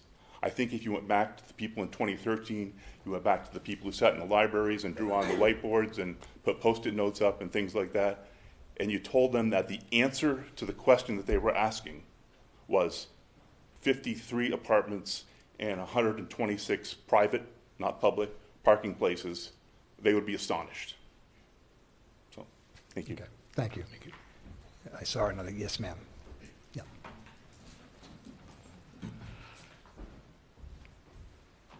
Hi, Carol McWilliams, uh, 28 Colton Lane. I just um, appreciate the accommodations that are being made, um, but I, point of clarification, last meeting, didn't the board ask that they um, adjust two things, retail as well as residential? We've talked about residential, but I thought you put, you petitioned them to, uh, the developers to have more retail I- because I- it had been reduced. That was my understanding. I I could have been Going wrong. by our memory, I think, at least for myself, and I believe for some of the other board members, were we were, several we- people. we were um, disappointed that the amount of retail was Right. reduced, but we did not specifically say that we would want that to be back. I know I personally did not. I, I did think those were the two points, and so I said you've addressed one. And uh, as we talk about making it an active and thriving downtown, 7,000 square feet for retail or commercial, I'm not sure that's going to bring enough, bu- and we don't even know what the businesses are going to be yet. I mean, we're all hoping for a coffee shop, we all want that. I wish there was some way that you could verify that that was going to happen, because that would make a big difference. People want to meet in town like we used to. Yeah, Because I our town is that. growing in every s- way except socially. I don't know. Understood. I, I- yes, please. Sure. Chair. So I, I empathize a lot with that comment about the importance of, of who ends up in this retail. Mhm. And what I shared at a previous meeting, and I'm just gonna reshare it in case you weren't here, is that we as developer and long-term owner of this proposed project, we have a very aligned, uh, goal with you for creating a vibrant place where people would want to belong. Because we, if we are going to rent this and it's going to be economically viable for us, then those people that will live there will also be neighborhood residents. Just like anyone who may be looking at this now thinking, you know, how can this space improve my quality of life, create gathering places? Our incentive is to do that, not to put some dead use in the ground floor that will make it less desirable for the people who will reside there and will support the economics of the project. Well, I guess my hope is as this progresses and things become more definitive, that then someone will be out there making sure that those are the kinds of um, uh, people that will, will take the, the uh, retail space. I- You know, it seems to me that that could almost be confirmed before this is all over. Yeah, un- Unfortunately, I've found over the last 10 or so years, um, the ability to identify tenants for retail has waned dramatically. Typically, it's the build it, they will come philosophy is, is how it's kind of materialized. It's Let's hope oh, just so. the way that it is, I'm sorry. But, so the retail is okay, you're satisfied with the 7,000 square feet? I'm, I'm more satisfied with this plan than I was with the last plan, personally. Mm-hmm. I- Yes, ma'am, yep, with the purple, I think it's purple or blue. Hi, I'm Karen um, Halevnia, 19 Wesleyan Street. Um, I'm just opposite the project. Um, And thanks to everybody for everything, including your adjustments and uh, uh, doing such a good job with keeping it moving along, like everybody says. Um, I just want to make sure that everybody understands that some people speaking sort of against the project are not necessarily against it in its entirety, as you indicated. I think we're concerned, and several, you know, some of the neighbors I certainly know, um, I guess it's just such a big project. We're very concerned with the size, and I appreciate the slight adjustments. I think a lot of us were very excited when you had all said maybe fewer units next time would be really great, and we were, uh, I think, feeling very good about that. I don't think it's necessarily the the the uh, the business space we're so worried about. I think it's the the living space, as everybody's saying. So I think that's all I have to say. Julie, you have some things. Thank you. Thank you. Just Thought I saw another hand over that way. Yes, yes, ma'am.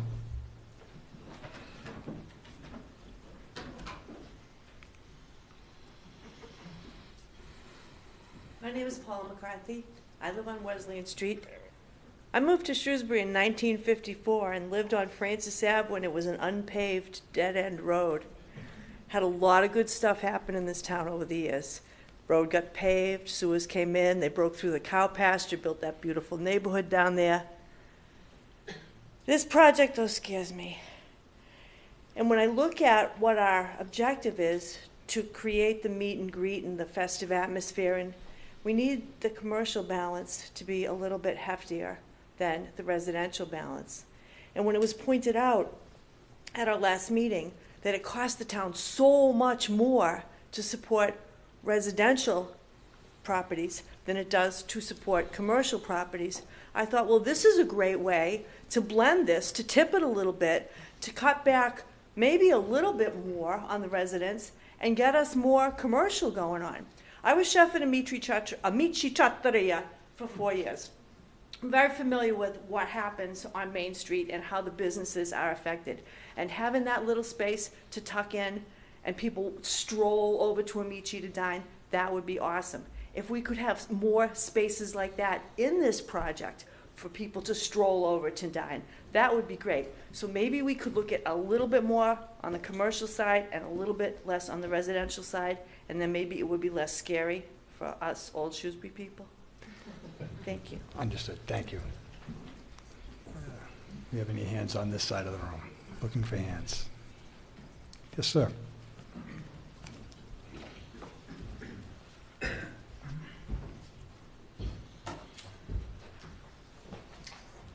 I, I'd just like to echo that you guys do a great job. As a chairman, you know, I mean, we couldn't ask for more. And um, every time I've, I've seen you handle a hearing, which isn't that often, because usually I'm not that interested, but um, I, I'm always pro-development, and I figure the neighbors uh, right next door have their concerns, and you seem to work it out all the time.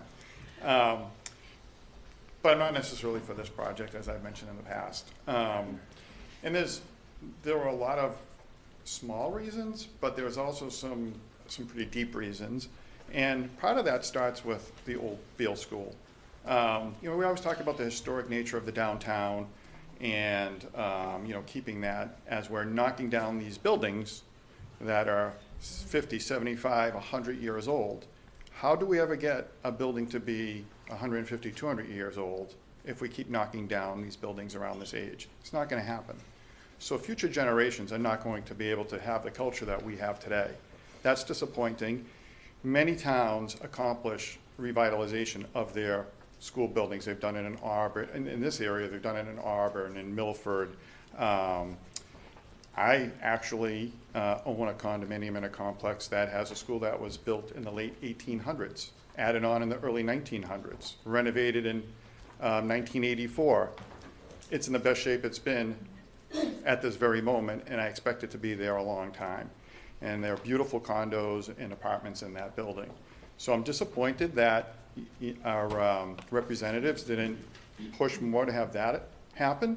If that had happened, I would be more accepting of a higher residential count. I think that would have been a fair exchange. Um, So that's a starting point. But with it as proposed, there are a few negatives here that I would like to bring up. First, I have a question about the um, parking. In uh, prior meetings, it was mentioned that there would be managed parking. Are we still looking to have managed parking? Response. So in previous meetings, if I recall correctly, we have indicated that the uh, property manager, and this was feedback from a, a local resident who owns a property management company who has managed uh, similar scale buildings for us included in the past, uh, is that we could propose to have residents have a sticker system so that the on-site uh, staff would know the circulation of residents and commercial employees by virtue of a uh, sticker in their vehicle. And that way, they could get a sense over time of the use of the parking space and then deploy a, an enforcement mechanism if necessary. The feedback that we got from uh, Madison Management, the man- management company I referenced, uh, was that it's each one of these has a, a different dynamic. Each building has a different culture around who uses it and how. And uh, she was very resistant to propose a, uh, a very strict protocol up front until there was an opportunity to see how it, uh, how the residents and the commercial, uh, commercial employees kind of played out. So, so that obviously brings concern. Anytime there's even speak of any type of uh, active management of parking, we all know that that's not a good situation. I think some of the members have mentioned that in any way, shape, or form, whether it's the owner performing it or a management company. Um, it's never, it's already speaking of problems. So I worry about that. Another issue with the parking that I think is a major downgrade to our center is the proximity of parking for the rest of the center. So we have currently, um, with the Beal parking area, parking right on Maple Ave, right next to the sidewalk. The new proposed public parking area is as far away as you could possibly get from that. And we all know that people want convenient car- parking. I heard, you know, I hear comments about, well, people have to change their behavior, but that's not how it works. I'll, I'll ask for clarification, but I believe that that dedicated parking has been, Correct, so there, uh, the agreement that we have for the acquisition of this land requires twenty public parking spaces, but there's no dedicated area that is proposed as public only because of the limitations around assuming who is in fact a member of the public when they are potentially both visiting a, uh, a commercial or a, a patron of one of the commercial spaces. You cannot in fact say they're not members of the public. So because of that, and based on the feedback, our interpretation as to how to manage that was to eliminate the carve-out for specific public parking, and instead just focus on ensuring that the peer reviewer, as well as our traffic study, was uh, represented that the parking we were providing was uh, adequate to support the proposed uses. And so that's a, that's actually a concern, because anytime that we're not, we're going from ideal to less ideal, um, especially when you, you look at your mandate, which I look at, anybody here could end up being in your position. So I always look at this as I'm in your shoes, and I'm looking at the strict criteria. Um, and it's actually pretty, well, uh, play on words, it's pretty significant. It actually says significant improvements. That's a huge bar to get over. Improvement's a huge bar, never mind significant improvement. So I don't see how we, moving parking farther away for that town center area can be considered an improvement, never mind a significant improvement. Right now, it is dedicated um, public parking, even though the signs were taken down, taken down recently. Um, Obviously, it hasn't been improved be because of a possibility of a project. But that's a major concern. Just to be clear, that's a condition of the town center zoning bylaw to put the parking in the back. I, I understand that, but it's, you know, it's way in the back, it's, there is parking up in that area, it's just not for public use. The public use parking is staged to be in the back. That's my, that's my point, it's the proximity of the parking that is the issue. And there is parking near Maple Ave, but it's not, um, set up to be that way, that's, that's my concern. Just want to make sure that everyone's clear. This entire parking area is public parking available, whether the space is open or not is the challenge, right? So Correct. There is parking that is closer to the Maple Ave area, down one end of where the site is, that could potentially be open, that is just the same space that it is today. I understand, and it's a perception, and you will make that judgment according to this criteria, if that is a significant improvement or not. So Understood. that's, you know, that's something that you have to decide. Um, Another issue, just, just with the amount of parking spaces, um, I know that this gentleman had mentioned it in one of the prior meetings, and we've downsized slightly, which is great. The, the change of um, bedrooms is good when it comes to the cost analysis on school children. Um, But just a little anecdotal uh, analysis that I've done without trying, I was at a 122 Diner in Holden. They have um, their own parking area, plenty of spaces, 9 o'clock on two Sunday mornings, a month apart. I actually counted the cars because they had significant extra parking, and I used to be in that business, so I was curious. So there were um, 60 cars at 9 a.m. one week, and 64 the next time that I visited that location. 2,500 square feet, very plausible. Out of a uh, 7,000 square feet, you could end up with something like that. That's that's the real world, and I, you know, if we're choosing what we want to do with this prime spot, I think that we should go for, you know, the ultimate situation, not a, oh, maybe it's going to work, maybe it's not going to work. So I think, I mean, that, that's kind of your job, but um, I don't know if you're familiar with that diner um, through the chair, um, the 122 diner, but that's a easy enough thing to see. Um, let- I just want to go back one last time to the future. Um, So planning board, uh, anytime you do a project, you're thinking of a future. To me, the future is at least 25, 30 years down the line. We've had people in the past in Shrewsbury that have purchased that land that we're now going to be expanding on for our cemetery. 50 years ago, close to 50 years ago, they were thinking of the future. What is that downtown going to look like 25 or 30, 40 years from now? Um, I think I saw in the traffic report that there's an estimated 7%, 1% per year, 7% increase in the downtown traffic without this project, just from the area growing through the chair. Is that correct? I believe that is. Mr. Michaud, could you confirm that?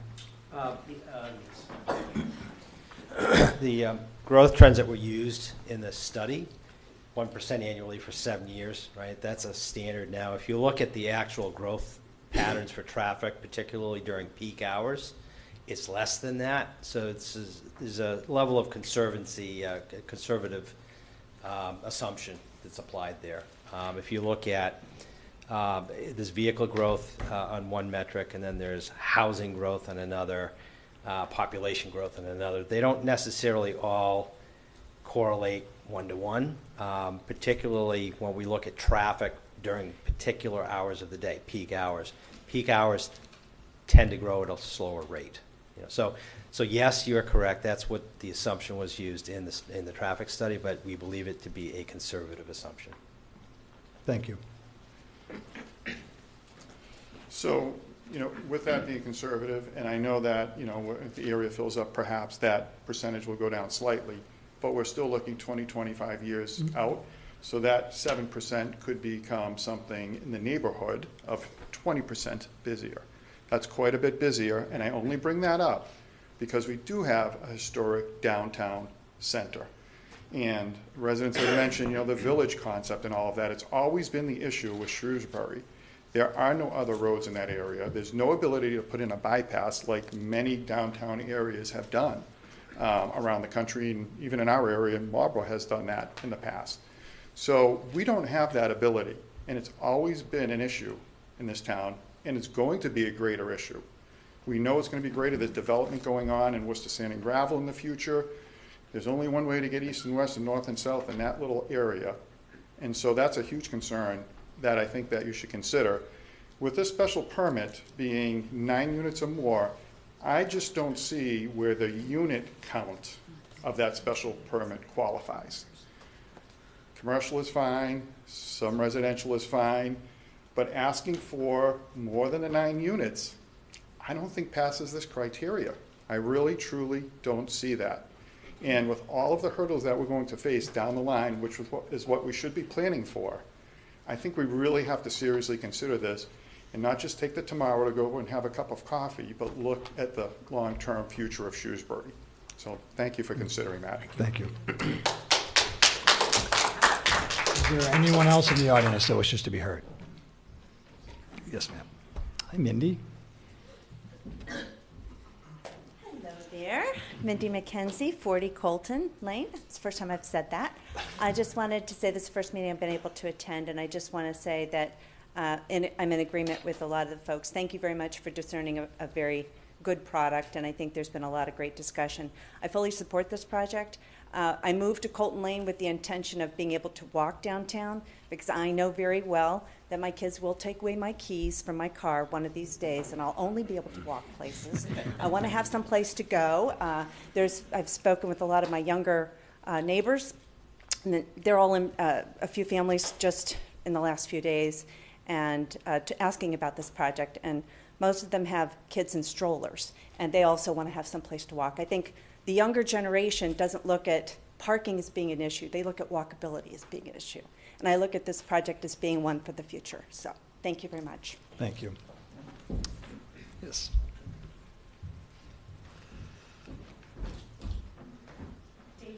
43 LeBlanc Road. Um, I grew up here. I have lived here my entire life. I grew up with, with the Vibrant um, Center. We had, um, oh my gosh, I can't even think of what it was called, at the Center Dairy Bar. We used to go there on Saturday mornings. Everything was filled at the town center when I was young. We had places to go. We had the pizzeria, the Center Dairy Bar. We had Hale Drug. We actually had places to go when I was young. Um, it would be fantastic if we could get back to that. Um, I have stood in front of this board many times fighting against these projects, and I applaud um, this developer for lowering the apartment com- um, count and bringing it to one bedroom. That's going to be huge. Um, I have fought every single time for school kids. I actually sat in front of the apartments and counted how many kids got off of school buses. And I stood in front of these guys and fought them because of it. So I applaud you for doing that. That's, that's a big thing for me. Um, also, I go to Market Basket at least twice a week, sorry. And the traffic there isn't what I expected it to be. Um, so between that and I live near Lakeway Commons, so going back and forth between both of those, I'm happy to say that I am not finding the traffic to be what I expected it to be. So I'm hoping that this project also, that the traffic isn't realized what people are expecting it to be, although the center is vastly different um, from what those two projects, you know, it's a different area. So with the changes, I mean, I was excited for this project anyway, but with the different um, apartment co- counts, I'm very much excited for this project. I'm hoping that maybe the counts can come down just a little bit more, but I'm excited for it, so I support it. Thank you. Thank you. Mr. LeBeau. Almost didn't recognize you. I didn't recognize you either. We've changed over. I know, a little bit, huh? Uh, Good evening, members of the board. My name is John LeBeau. I live at 203 Walnut Street. Um, As a previous speaker mentioned, this proposal, this project has been almost 10 years since the master planning process since began, and there was talk about the center. Then it became much more focused with uh, various committees that were more dedicated to the center or for the Beal reuse or and each of them had multiple opportunities for public comment. And as uh, Mr. McGoldrick's predecessor, Mr. Cahill, said at a Board of Selectmen's meeting last year, he was impressed with how many people came and participated at those early planning uh, sessions. Uh, many times more than 50 people attended. Over that period of time, a plan, the idea of a plan was created. But before anything could happen, before anything could happen, um, the board had to go outside itself. The board can't just come forward and say, we want to do this. The board had to go to the town meeting, went to the August 2020 town meeting, and had to ask five questions to the town meeting. And the town meeting needed to agree to every one of those questions so we could be sitting here tonight. So I'm sure the board recalls, but I'm going to take advantage of the moment just to remind folks that what was voted on that night. And I'm not going to go over every single article, but I am going to say the disposition article, the motion was for the purpose of making the property available for sale for no less than one dollar, and to authorize the Board of Selectmen to enter into any agreements and to do all things necessary to dispose of said property by sale upon such terms and conditions as the Board of Selectmen deemed to be due in the best interest of the town. That question was put before the town meeting. Elected people, not appointed by the Board of Selectmen.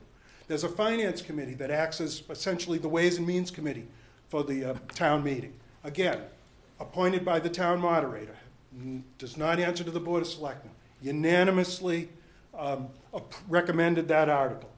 That article passed by a two-thirds vote. There were four zoning articles, which also required the uh, Finance Committee to review, all unanimously um, recommended. Your board, though an appointment of the executive branch of the manager, your board also had to consider those four zoning articles. Unanimous recommendations of the planning board. And I do want to call out in Article 34, I believe, excuse me, 33, which established new language talking about what a town center district is.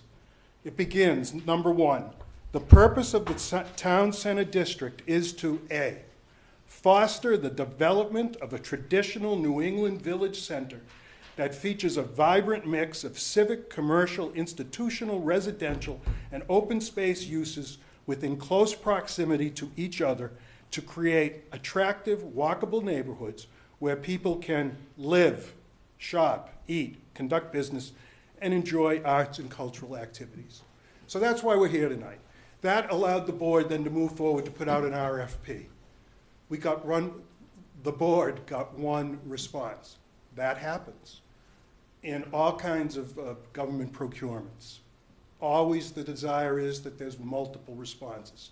Frequently, there is only one, and frequently that one is awarded because it meets the criteria that was established in the RFP.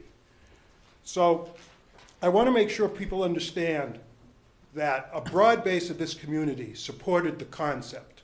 The board went forward and created an RFP, a legally correct document. A responder responded properly. The board decided to award the contract to begin this process. I may not have all my terminology um, appropriate. But that's why we're, that's why we're talking about this. And that's why it shows that there's a broad base of support for this project. A previous speaker also mentioned, and I think you were a little uh, kind, that 35 years ago the center was doing pretty well. Boy, I don't know. I, I was, I had written in my notes, I was going to say, I- I'm afraid to say that in my memory it was 50 to 60 years ago when we had a vibrant center. You're a lot older than I am. Yes, I am. But I didn't think it was that vibrant 35 years ago. Um, It was a vibrant center. It is no longer a vibrant center. What's going to happen if we do nothing? What has the past 20, 30 years showed us? A steady decline, Some people really fighting the good fight and fighting it well, but they could use some help by having some other activities around them. So just in conclusion, I simply want to say that I think people want a vibrant town center again. And housing seems to be, we've, we're learning, is a vital component for any kind of redevelopment.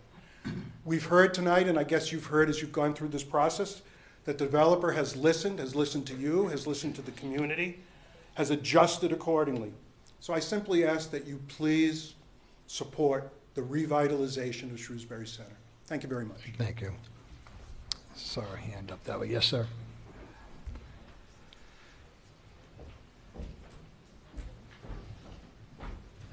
Peter Mont, 278 Prospect Street. So we all want a walkable downtown, but the idea that this one building is going to make it a walkable downtown and we're going to be in Boston is, is just a dream. It's just not a reality, folks. We have a highway going through our town center, one. Times have changed. I believe, yes, it was great 50 years ago, but that's not coming back. You know, there were no malls 50 years ago.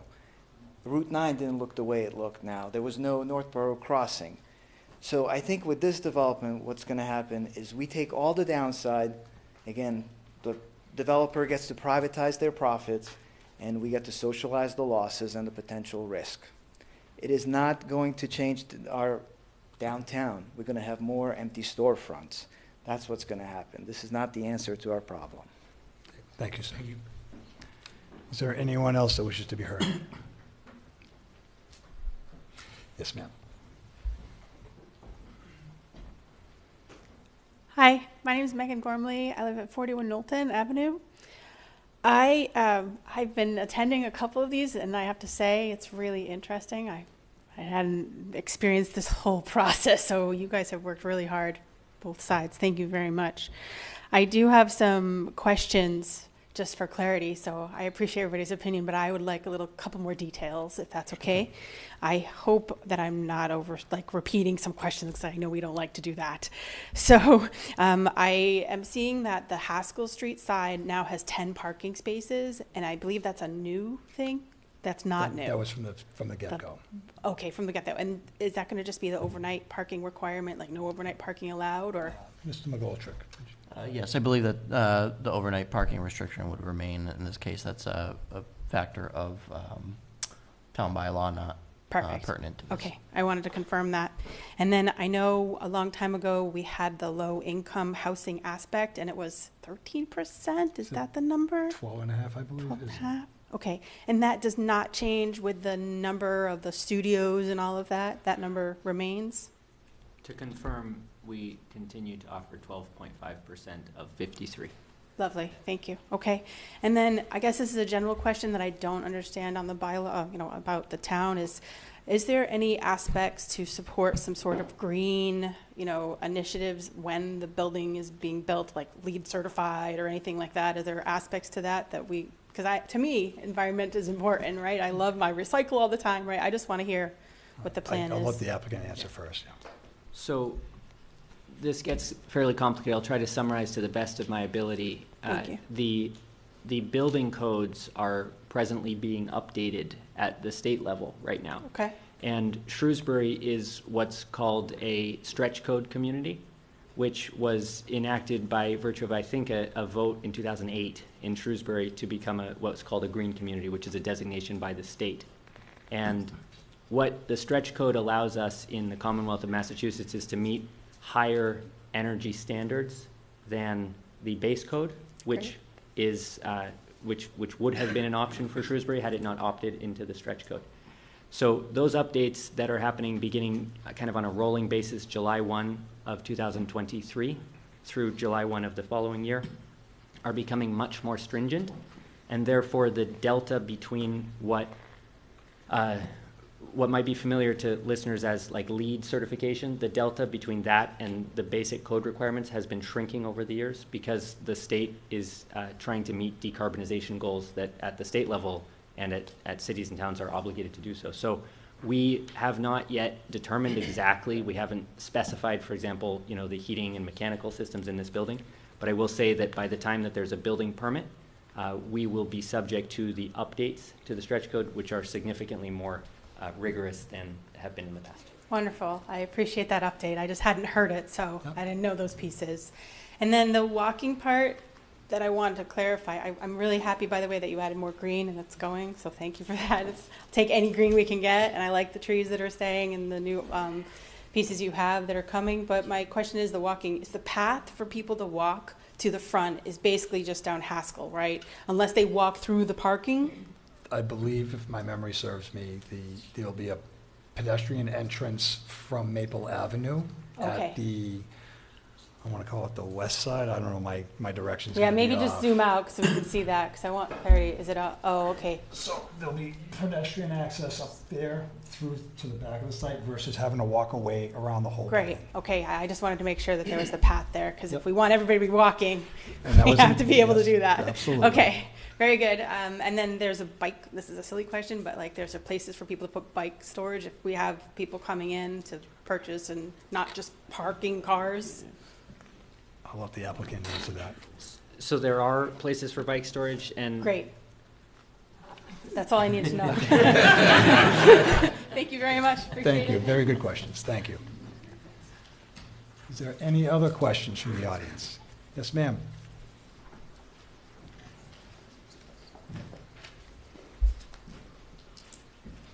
Thank you. I said I was gonna sit closer, I forgot to do that. Um, Julie Ross, 18 Haskell Street. Um, Try to be short and, and direct. I have a few leftovers from the last time. I know we're running out of time, so I promised to postpone a few things. So administratively, um, will we have an opportunity to submit written comments if we have them? Um, Beyond when, I assume this is the last meeting, I should say that first, right? Uh, Not necessarily. So the uh, opportunity to submit written comments that would be included in the public record um, is uh, the entirety of when the public hearing is open. When the board closes the public hearing, you can still submit um, public comments or written comments, but they will not be allowed to be included in the public record, and the board will not be able to consider them. So um, Okay. this entire time. That's all right, any- that's why I'm asking the question. Yep. So the deadline is irrelevant, so that wipes that right off the list. Uh, there was a couple of, um, other little questions that I had about the process. Will the evaluation, when, when you're all done with your deliberations, will that be made public at all? Or will that be something that's always kind of kept? I, I believe you asked me that, uh, what do I use for my calculus? No, Well, I was asking you what that weight Um, and- was, and I- but I'm just wondering if there's any more general evaluation or anything that would be. In the 11 years I've been on this board, I've never once had to quantify what elements of any particular part of a site Okay. overweight another. To me, all of it goes in Right. to a single stew, and, you know, some have a higher level of importance in one particular site, may not necessarily be in another particular site. Yeah. So it's, it's a conglomeration of everything that we have for available Okay. information. You know, I asked that, uh, again, not to belabor things, but the years I worked for the state, we had to justify every decision we made and why. So in my mind, my baggage that I bring is I'm looking for that, because I had to participate in my section of three or four RFRs, we called them, but the same thing. So I kind of want to, that's um, automatic pilot I'm on, I guess. I keep wanting to find that. And, but, you know, that's what I need to know. That's why I'm asking the questions. In earlier um, meetings that we've had, we've talked about certain issues about parking and one thing or another, and how we are all foreseeing with our crystal balls uh, what's going to be a problem and not. And a few things have come up where we would just talk to the police and ask them to come fix things. I'm wondering if anybody has actually done any outreach to the police to see if they have any authority to go on private property, and/or um, is there, I- did anybody do anything with that? Mr. And that's McGoldrick, I going to be a believe the- walk into the- something else I asked Do earlier. you want to explain the Yeah, uh, we- department we- comments? Yes, um, so we've been in contact with the police department. Um, they've reviewed this submittal, um, and had the opportunity to submit any additional comments. Um, in terms of the access to private property, that would fall within their normal police powers. which in my experience has been for minor things, what they would consider to be minor, like idling cars and/or parking where you're not supposed to be parked. They don't have the resources to really do that. So I'm just kind of wondering if, um, you know, it is what it is. So I'm not asking you to defend it or not, I'm just kind of knowing what to No, expect. but, but the 'Cause police I'm- I department in live this here. particular case did And have you an are opportunity. putting this right in my face, you Yes. know, so it's not like I can just turn around because I'm just gonna, this is, I'm, I have to live with this. Understood. Um, so, yeah, um, all right, so it's, um, kind of in that mindset of enforcement and all, about the planning board itself. And I've tried through all of my comments to stay really within the site plan with everything I've said, respecting, you know, what your jurisdiction is and trying very hard to do that. Um, but beyond your initial checkoff, when you say you have to have, for example, two or three electric vehicle charging stations. Um, so the building inspector, somebody comes by when it's all done and checks it off, okay, it's there. Over time, how long does that continue? My, my thought, just a quick example is somebody forgets to unplug their EV and they drive away with the nozzle, you know? I say nozzle because I saw once a guy driving down the road with his SUV and the nozzle was in the car and the hose was flopping in the wind. I'll, I'll let the applicant. It could happen. Answer that, but um, I believe the management company is responsible for everything that's on their site. Okay, so if you had any funding from the state or whatever for that, then that would become another issue for other auditing, that when you, you know, if you applied for and got grants, that all that, okay, whole different infrastructure, whole different thing. When they close out the site, when construction is completed, they're going to be required to file an as-built plan which shows that everything that was proposed was built i- i- in accordance with the specs and And after everything that, is it's where done. it is. And my understanding is they actually, at times, go down and count shrubs and plantings and everything At the beginning, else. yep, yep. It- So when construction's completed, that will occur.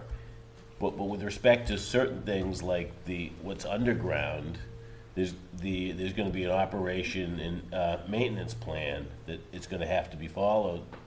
And they're gonna be required to submit, I, I, I think, reports to the town engineering department that in fact, that has been done, that has been complied with. Okay. And in most of these projects, what's going on beneath the pavement uh, is, is critical as what's going on above the pavement. Oh, Especially I in a know, site like this. I know.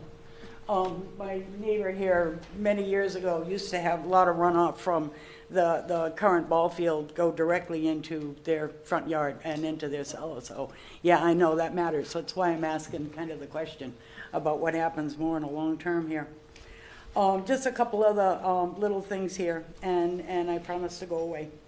Um, this, um, the, the, I looked, I, I, I looked, um, more at the, um, architectural review, and I was delighted to see a little bit more than what I did the last time I looked, and thank you for that. Um, there, there were some things there, but I guess I have one, a couple of definitions that I want to talk about. One is, what, how are you define, through the chair, how are you defining, um, New England architecture? And it's such a broad thing, um, New England architecture. Okay, so. I will admit, I'm an architecture buff, big time. Um, it was one, in, in, in planning school, it was one of my favorite things, you know, the urban design and all that. I will readily admit. So I think this is very subjective, but I'll, I'll do It my sure best is. to articulate as it relates to this project. I think using this as an example, I, from a materiality perspective, uh, you know, the horizontal clapboards, the uh, sort of human scale of the massing, where when you're walking, you know, along the street, it has a very clearly articulated kind of base, middle, and top. Mhm. It's, I, I think human scale is probably one of the, the features of a traditional town center. Um, in the case of, of this project in particular, uh, it, it feels very kind of residential in, uh, in its uh, appearance, even though it's a multifamily building. So it would not fit in, for example, in a downtown. So I think by, by virtue of that, it kind of defines itself, at least in, in, in our communities in New England, as a very traditional town center building. Yeah, thank you. I, you know, one of the things I was impressed with was your sight lines. I mean, when I tried to visual, visualize myself there, which is not hard for me to do because like I said, I live there. Um, I could, I could kind of visualize where my eyes would be, where it's gonna rest comfortably, and it really seemed to not be too overwhelming. I mean, I really kind of liked that. Um, but there are other parts of it that I thought were kind of meh. You know, it just kind of looks like any other shopping 500 unit complex, apartment complex here, there, and everywhere. Um, some of the designs that were, I think, the West Acton project that you did, they were very nice. I thought that was very much New Englandy, but some of the other ones just looked like it could be Ohio, you know, anywhere. I mean, certainly not New England, which is why I wanted to ask the question. But I know you really tried, so I want to give credit where credit is due. You know, it is what it is. So, you know, um, the scale is more important than I think the actual style, because you're right, that's very subjective. Another kind of subjective thing and looking for definition. And I, I have to bring this up because it, this has really been troubling with me, troubling me as a block the box thing. And I had mentioned last time we were here, I think in some cases we're talking past each other. To someone with a commercial driver's license, block the box is something that came right out of New York City. And it also entails um, traffic um, cameras that are set up, bureaucrats that review traffic cameras um, or traffic pictures and issue um, citations to drivers for going through red lights and whatnots. Um, I know a bus driver who, in fact, because of somebody parking beyond the stop line in the street, um, had to do the pull up, back up, pull up, back up. What's on your site plan, in fact, for the trash trucks, what they're going to have to do to kind of get turned around and get out of the parking lot. And it started, when he started, it was green. When he finished it, it was red. He got a ticket. It would have cost him $200 to go to New York City to fight a $100 ticket. What I had asked for originally at the hearing um, in December 2021 about a sign for don't block the intersection, uh, what I was envisioning was a little sign that basically is one in Kenilworth, which is right before Lake Street on the southbound side of 140. Just reminds people don't block the intersection. So, Um, can I interrupt you for a I moment? I just want to finish with Yeah, one go ahead. sentence that all we are asking for is the little sign, not the whole legislative brouhaha. So my And- understanding is this is going to be brought to Mass DOT to see, Mass DOT may not approve that, block the box. I hope not. I, I'm just telling you, it's. That'll it's- tie it's- this up it's for a- 20 it's a years. recomm- It's a recommendation that Mass DOT will make the final decision. And by, by quite frankly, they could have come and just done it by themselves anyways. I would like to politely suggest you remove the jargon of block the box and use what it is we're asking for. If we can agree here that all we're asking for is a sign that reminds people to not block the intersection.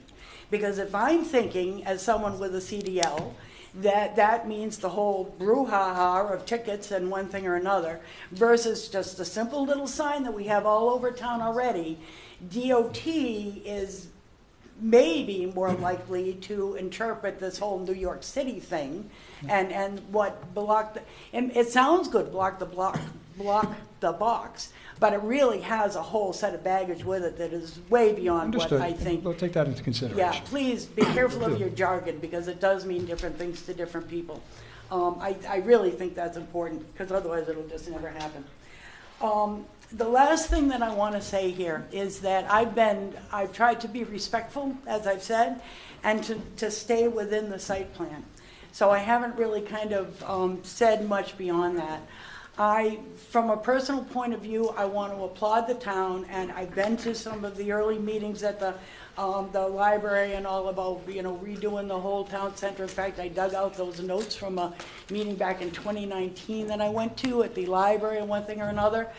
I love, absolutely uh, support the idea of developing the commercial center again. I really think it needs to be done.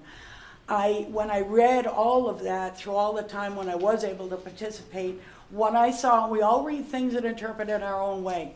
I saw open space as having equal standing with everything else. And I was shocked. I mean, when we were, when we first saw the, the, some of the early responses that there would be 65 units put in the backyard and 0.3 acres of land shocked. Um, you know, it, it's come down. We've got a little bit more of a park, um, but I, I, when I was trying, when that first came around, I was trying to envision 20 units would be a lot, and I know that the RFP had said, you know, nine units or above. So I was envisioning, okay, double, that would be 20, and even that would be tough in there. But I was envisioning that the town had put equal value on preserving the open space that's in the center of town.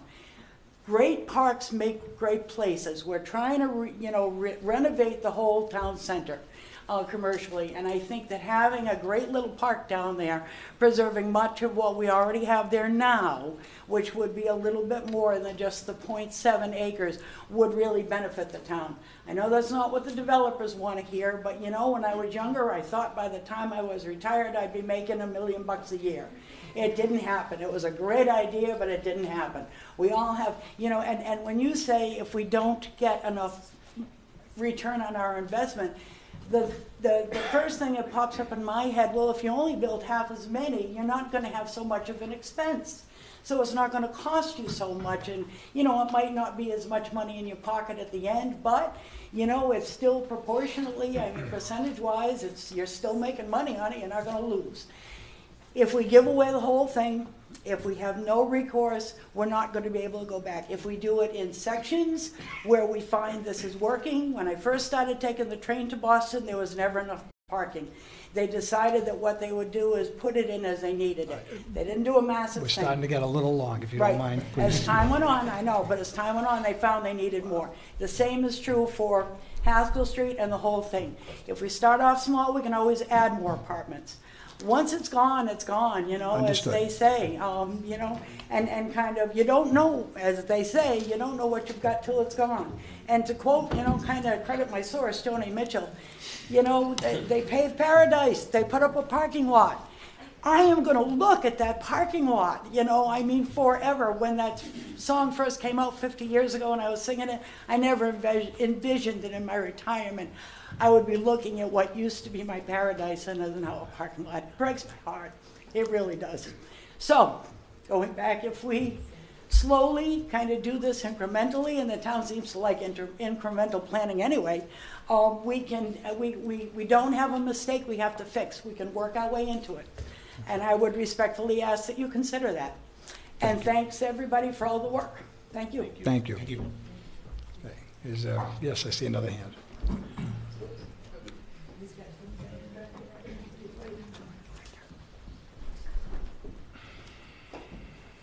My name is Patricia Minton.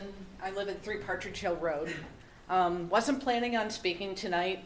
Um, I was actually planning on going to another meeting that was actually last night. But anyway, I'm glad, I'm glad that I could uh, make this because uh, this is one of the nights that um, my Girl Scouts meet. Um, I'm opposed to this project. Um, it was mentioned earlier that the town meeting wanted something New England style that would blend in with New England. This doesn't. I think that if the project is smaller, it would work with the New England style and what the master plan was looking to uh, accomplish. If we have these 53 units, we're going to have traffic problems. Even though that the, um, in, there's a increase, a reduction, I'm sorry, in two-bedroom units, we have now uh, studio apartments. I still think that 53 is too much. I think if you cut it to 20, it would be more manageable. You also would have more green space. Shrewsbury's losing green space. Um, 50 years ago, sorry, the town decided to uh, annex Prospect Park for their cemetery. Unfortunately, several scout projects are um, going to be affected by this. Historical um, um, landmarks are going to have to be moved. Let's not ruin the town center. Um, I used to live in South Hadley, which had a similar pro, uh, similar proposal, and it ruined the town center. Even though that it did have Mount Holyoke College that had the traffic, um, it just ruined the center. I, Thank you. yeah. Is there anyone else? Yes, sir. Mr. Molina. Jason Molina, 31 Winchester Avenue. Can you hear me? Is it on? Yep. Okay, sorry.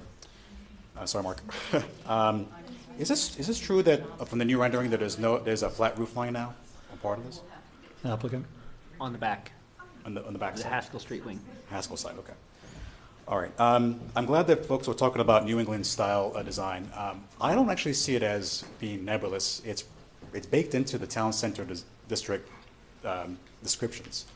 Um, I know um, Mr. Cahill spent a lot of time articulating all the pieces. He, he gave demonstrations about, hey, community, what are, these are the different choices, different aspects of that, what a New England style would look like, solicited from the community, got it formulated into what is now uh, the uh, town center zoning um, uh, requirements. So um, I brought this up in the last several meetings, so I'm going to be pretty blunt in this question.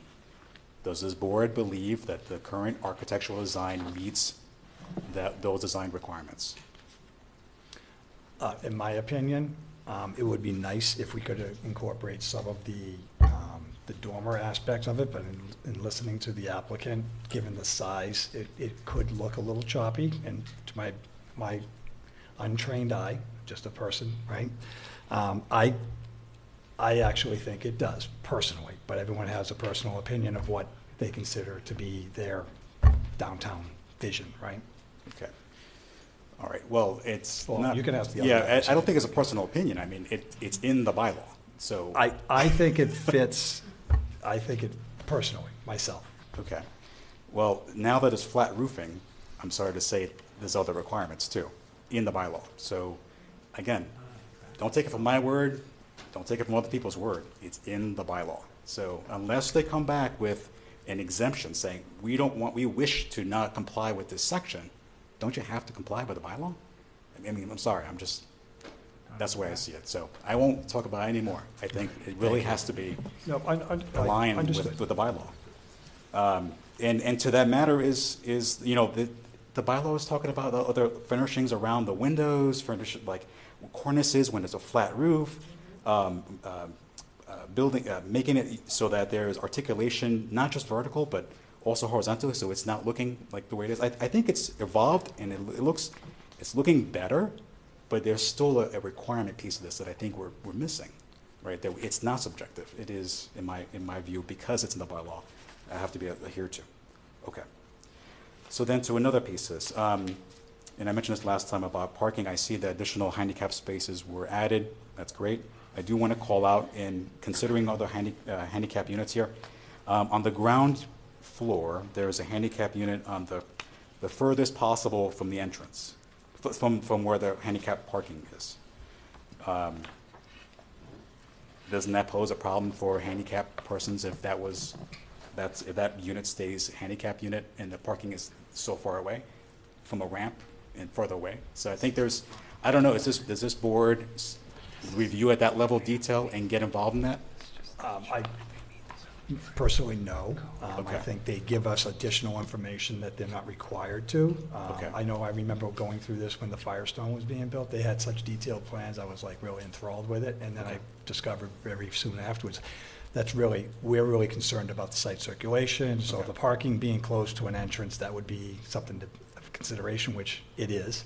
Where that individual may go inside the building, we, we cannot control. They have no access within the building, if I'm reading this right. Their only access is through the exterior, and they'd have to go all the way around the building in order to get up a ramp. Again, I, we don't define where, well, first of all, we don't define a handicap room. I don't believe we actually have that in our standards, right? Yeah, so, so handicap accessibility, it's a somewhat of a fine line. Uh, You know, we do, do our best to review it to make sure that it's on the plans, but um, ultimately, that is a building code and architectural access board issue. Um, There will be further plan refinements during the building permit phase um, for those specific details of where exactly the, you know, the handicap spaces are going.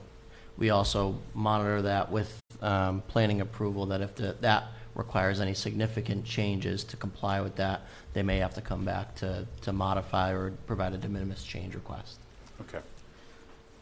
All right, thank you. And then lastly, um, I know that there was one applicant, so you, you go in with the applicant, right? There's only one to, to work with. Um, But the RFP was pretty clear about what the, what the town wanted, what the select board was synthesizing, what the community wanted to have uh, relation to um, retail space on Maple Avenue. So there's still a significant amount of residential amenities that are on Maple Avenue. Don't you have some leverage here? Do- Does the board think that this is okay, that we just ignore that part of the RFP and not leverage, not use as leverage to, to change the unit size, the unit amounts, and to push the residential out of Ma- Maple Avenue, increase the, as the, um, the, re- the retail space that was originally in the first proposal that, sh- that gave us all that warm and fuzzies about, great. As a town meeting member, I looked, I, I stuck my, my stake in the ground on that first proposal that showed wonderful, the fix was gonna come and this amenity and good, greater good. And I know those were just concepts of like some potential retail, retailers to come. But it was a grand vision that I certainly said, yeah, let's do that. That's, that's gonna be a great downtown. But what we have now is not what we had then when we said yes, or at least when I said yes. So now that we're here, again, doesn't the board have an, an opportunity to use that as a lever? Lower the units, give us the retail that we asked for.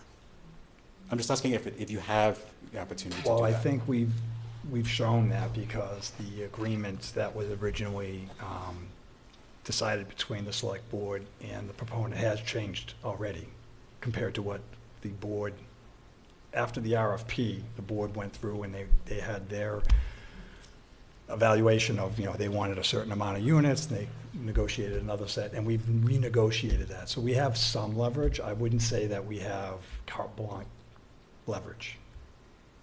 But these are, and, and, and thank you for everybody for the ideas and things. These are all pieces of information that are gonna fall into my stew in my head, and I'm gonna be balancing them all around, and, and I'll come up with a decision based upon that.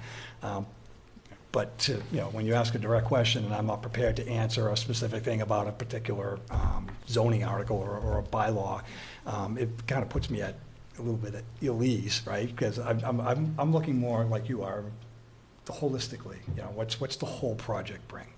So that's, that's, that's where I am. And, and again, you know, the, I think the feedback from the public over these many meetings, I think it's been listened to, certainly by this board. We've reflected that in our views to the applicant. I think the applicant has been responsive to those. Um, I know that a lot of the major challenges that started at seem to be in a much uh, more, um, they've been addressed to the point where the, the anxiety level, I think, can, has dropped down quite a bit, I, for myself personally.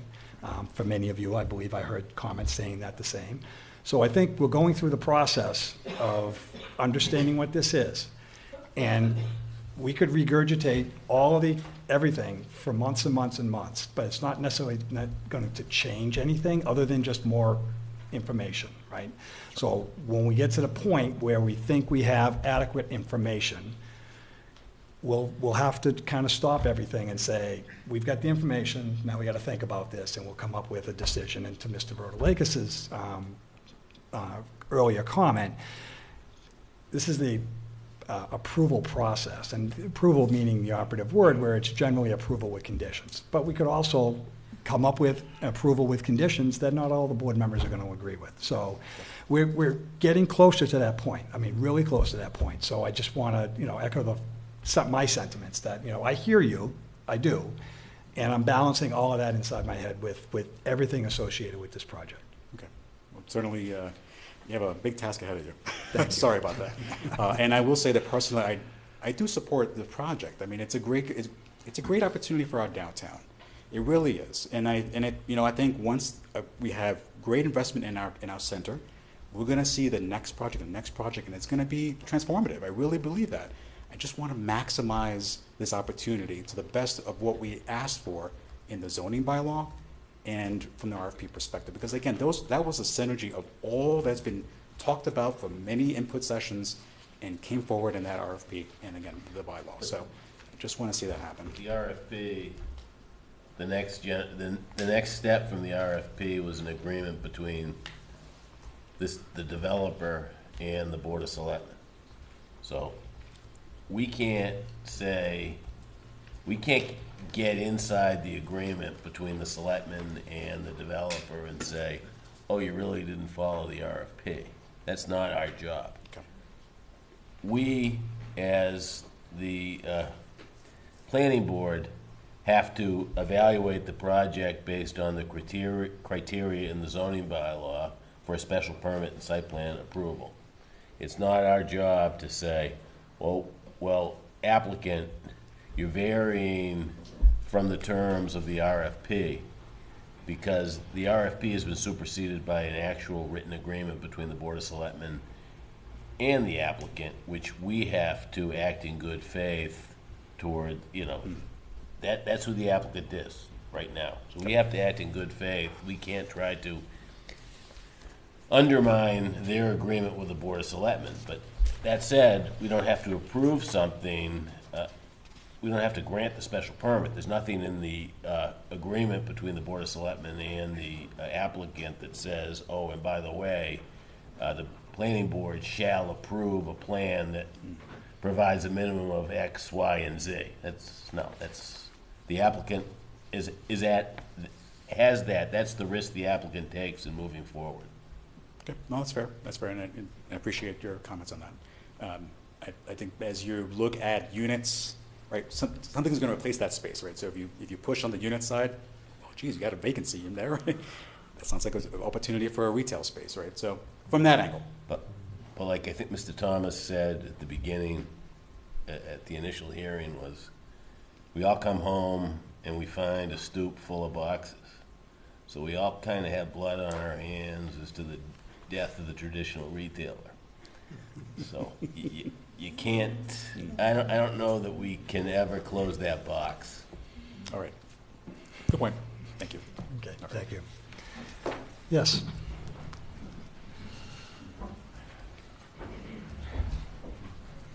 I was gonna do a twenty-minute speech. I I don't, I don't think. I- That'd be short I don't you. think I need to, I- everything was covered, but, um, I, I guess I'm going to speak for the developer. Um, First of all, the building, um, complies with zoning, and I'm, I'm sure that the building inspector will verify that when, when she gets to look at it, I have no doubt about that.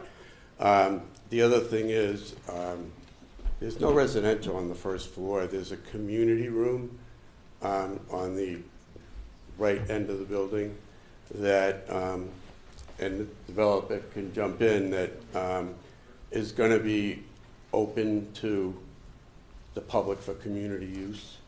So it's not, it's not residential. It's a, it's an, it's a public community room. It was part of the residential, and they're going to make it open for community space, so.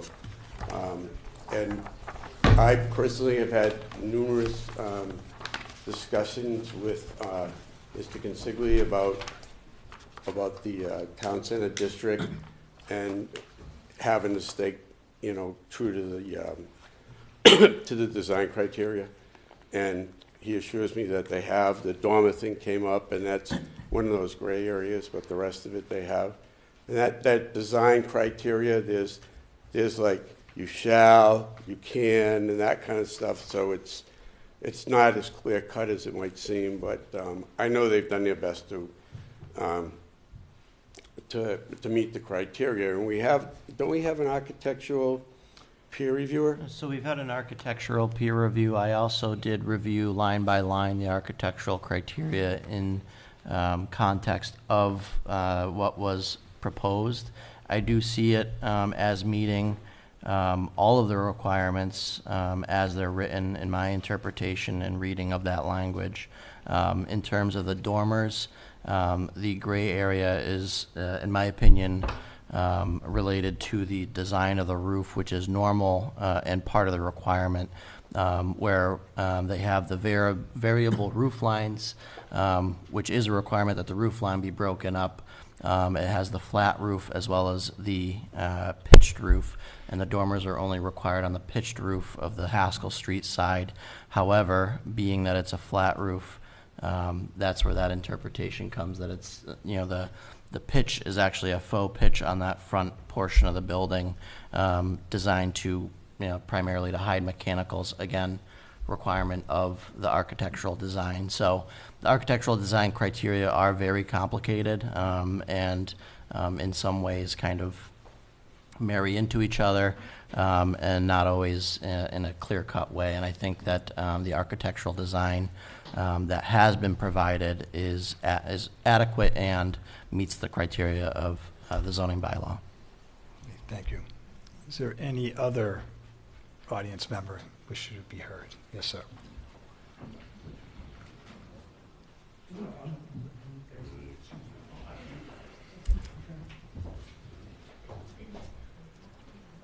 So, uh, thank you for giving me a chance to come back and, uh, and, and hit you again here. Uh, just, uh, I think two really quick things, and then, uh, if you give me thirty seconds, because the RFP thing's been driving me crazy, and I apologize, to Mr. Rotalakis, I know you've already put it out of scope and everything else. but, Um, as someone who's done this for a living, I just retired, but for, for twenty of my forty years, um, RFPs are wonderful things if you're buying three years' worth of police cruisers, if you're buying the next generation of laptops. They're terrible things for things that are open-ended, things where you're not actually sure what you want, but you're willing to kind of chat about it and see if, uh, if you, if you get it in the end.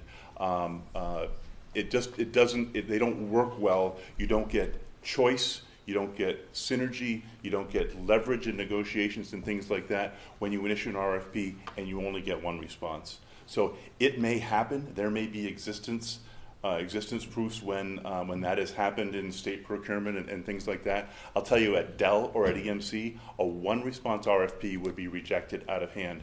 It's a sign of a bad RFP or a bad marketplace.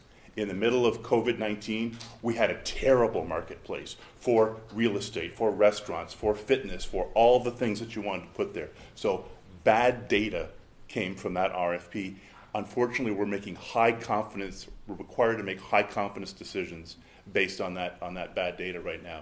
I'm really glad that we didn't subject Prospect Park to one response RFP or the Allen property, or the Centech work, or those kinds of things. I don't know where we'd be today, but those properties would be off the books and built up with apartments. So, uh, just, sorry, that's thirty seconds on RFPs, had to get it out. I appreciate your patience. The two other questions that, um, that uh, folks asked me to bring up, one is, um, uh, uh, I'm glad that Mr. Michaud and, uh, has gotten together with, uh, uh, with the other traffic and, and parking analysts to sort of agree on numbers a little bit. It sounds like that's getting closer. Um, to what extent do the traffic studies anticipate the arrival of the other things in the, um, in the, in the, master plan, like bike lanes and like additional, uh, pedestrian traffic and therefore, uh, crosswalk activations and things like that in that plan? as that seems to be a significant, have a significant downstream impact, secondary impact. I know Mr. Michaud said that uh, this project doesn't independently trigger those, those sorts of things, but I think the broader, uh, your broader context for the uh, special permit granting authority is uh, what the, what is said in the master plan, and so I wanted to bring that back to the forefront. Mr. Michaud. The, um, the project has um, evolved and included elements that are consistent with uh, multimodal transportation components that are consistent with st- current state policy, Mass DOT policy. Uh, Maple Avenue is a state jurisdiction roadway.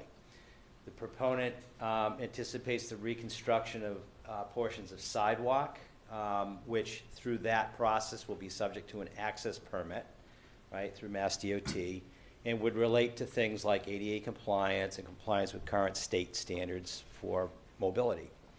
Um, and uh, so I'm confident, based on what I've seen for the plan, that they are consistent with the objectives that have been laid out, you know, by Mass DOT for this area generally. Um, what this applicant is not able to do, nor is it impacting necessarily, is any future plans the state might have for bike lanes, for instance, along Maple Avenue. But elements of the plan uh, would allow for integration with those types of elements were brought forward by the state. Um, as to you know what might happen with you know additional pedestrian activity in the downtown area, Um, all of the, um, the, the pedestrian crossings that currently exist are compliant crossings, so to speak. It doesn't mean that they can't be improved over time. And, and an example of that would be the conversion of um, standard walk, don't walk indicators to countdown clocks, for instance, right? Which are a little more modern and, and, and, uh, and uh, effective in some ways. Um, it doesn't mean that that can't happen, but I think it's beyond the scope of an individual project to necessarily implement those types of improvements, that, you know, that might come to board bear. So what I would say is that the site um, is being designed in a way that allows for it to be integrated into that longer-term plan as things evolve, whether Mass DOT or the town opt to advance those types of other improvements is really, you know, up in the air. Uh, So it's, it can't be necessarily tied to the project. So it's fair to say the plan has some flexibility, but doesn't explicitly anticipate that? Yeah, I, I think the inclusion of bike parking, for instance, uh, in the project, the, um, the way that they've laid out the sidewalk connections within the property that connect the building, retail points, building entry points to the public sidewalk system,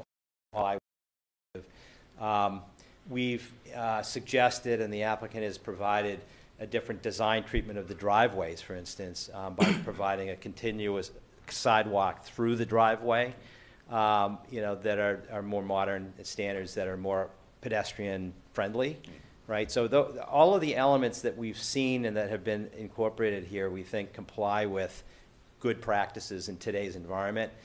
Once you get external to the project, right, um, you know, this is compatible with that. Um, it, it, it, it can snap in with an improvement of off-site elements like improved crosswalks, for instance, but it, it's not independently proposing to do that external to the project. Does that answer your question? Yes, yeah, I mean, the primary focus of my question was about the traffic angle, not so much about you know, whether there were bike racks or things like that, but Mm-hmm. a bike lane takes up an automobile traffic lane, does that have a downstream impact on wait times at Oh, Maple sure. Street, right? Yeah. Do ad- additional pedestrian crosswalk activations, uh, you know, because we've got a really popular, you know, thing happening, you know, uh, suddenly make, you know, uh, Main and Maple unpassable for an hour, you know, uh, Right. because we've got so much pedestrian traffic crossing all the time. You know, you've been in New York probably when you've tried to cross the, you know, you know, across the street and everybody, the, the cars are, are knocking you out of the way, right? So, Yeah, so um, I, I'll say that, um, you know, recently, and I'm sure uh, folks who live in town here can appreciate this or not, uh, is that you could once, at one point, park along Main Street. Uh, You can't do that anymore.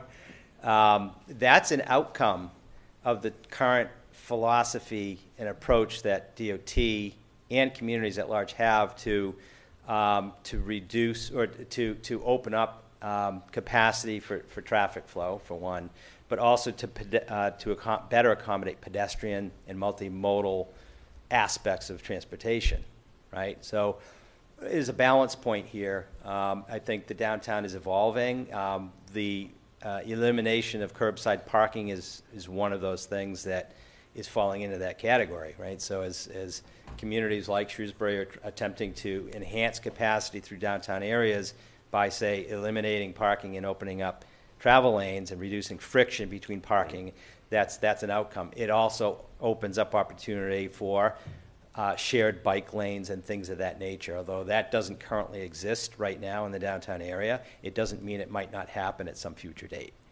Uh, which might bring some of that friction back again. uh, yeah, so it, it, it's certainly a balance point, but, you know, and um, when I started my career 35 years ago in, in transportation, it was all about cars and moving cars, right?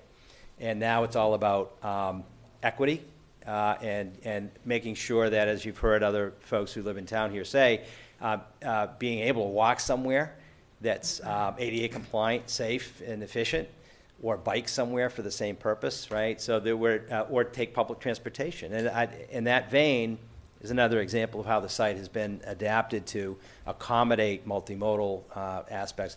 They have identified uh, an area where a bus shelter could be placed, for instance, to encourage that type of a use. This site is at a bus stop, you know, Worcester Regional Transit Authority.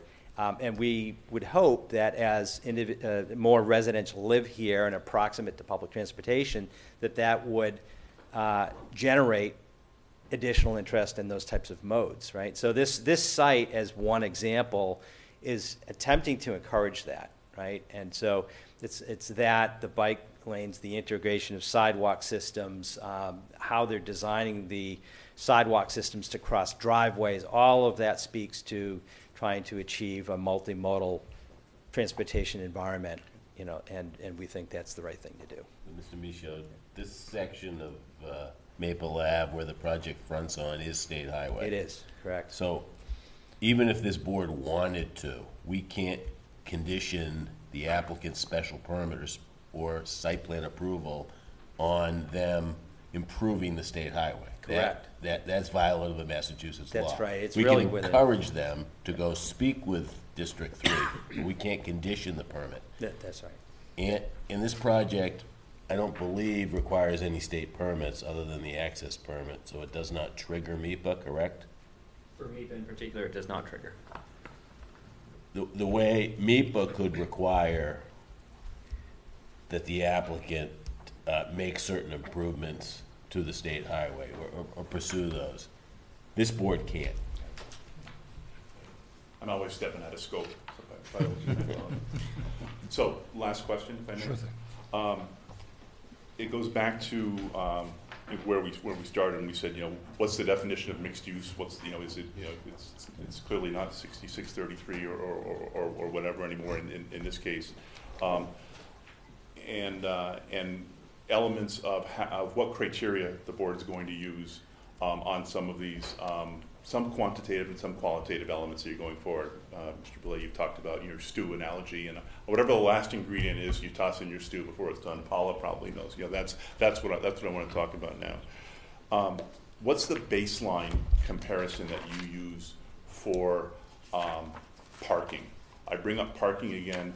Uh, I read the, uh, the Wall Street Journal article uh, myself. I think it's uh, much more applicable to the gentleman from Fidelity who was here earlier talking about putting something useful in the middle of that pavement uh, down on uh, Grafton Street than what we're talking about in the town center. Be that as it may, um, uh, there's, in December, I think there was discussion of, gosh, we have 2,000 parking places that are only 30% utilized. What's the problem? We hear, we can hold the, the Yuletide um, uh, uh, event uh, and get 2,500 people in and out of downtown. You know, what's the problem? To me, that's like saying uh, Foxborough can host eight Patriots games a year, so that must mean Route 1 is a walkable, park once, you know, destination for the rest of the year. Those aren't applicable analogies. The applicable analogies are park once, walkable, multi-stop while you're walking, destination where you're coming from elsewhere. It's not about the fifteen hundred people who are already within walking distance. It's about the destination thing. It's about bringing visitors, bringing your family. It's about the rest of the community, uh, the other thirty-eight thousand of us or whatever, whatever it is, uh, you know, to, uh, you know, to, and, and more to be able to, to take advantage of that. So that's why parking keeps coming up. It's not, hey, I walk to the town center all the time. I live on Red Coat Road. Takes half an hour. I bring the dog. We have a good time. You know, it's not about not wanting to walk. It's not about being a luddite stuck in my gas guzzling car or anything else like that. It's just about you know want to have that destination there. People are going to have to put their automobile somewhere to get close enough to the destination to take advantage of it and activate it.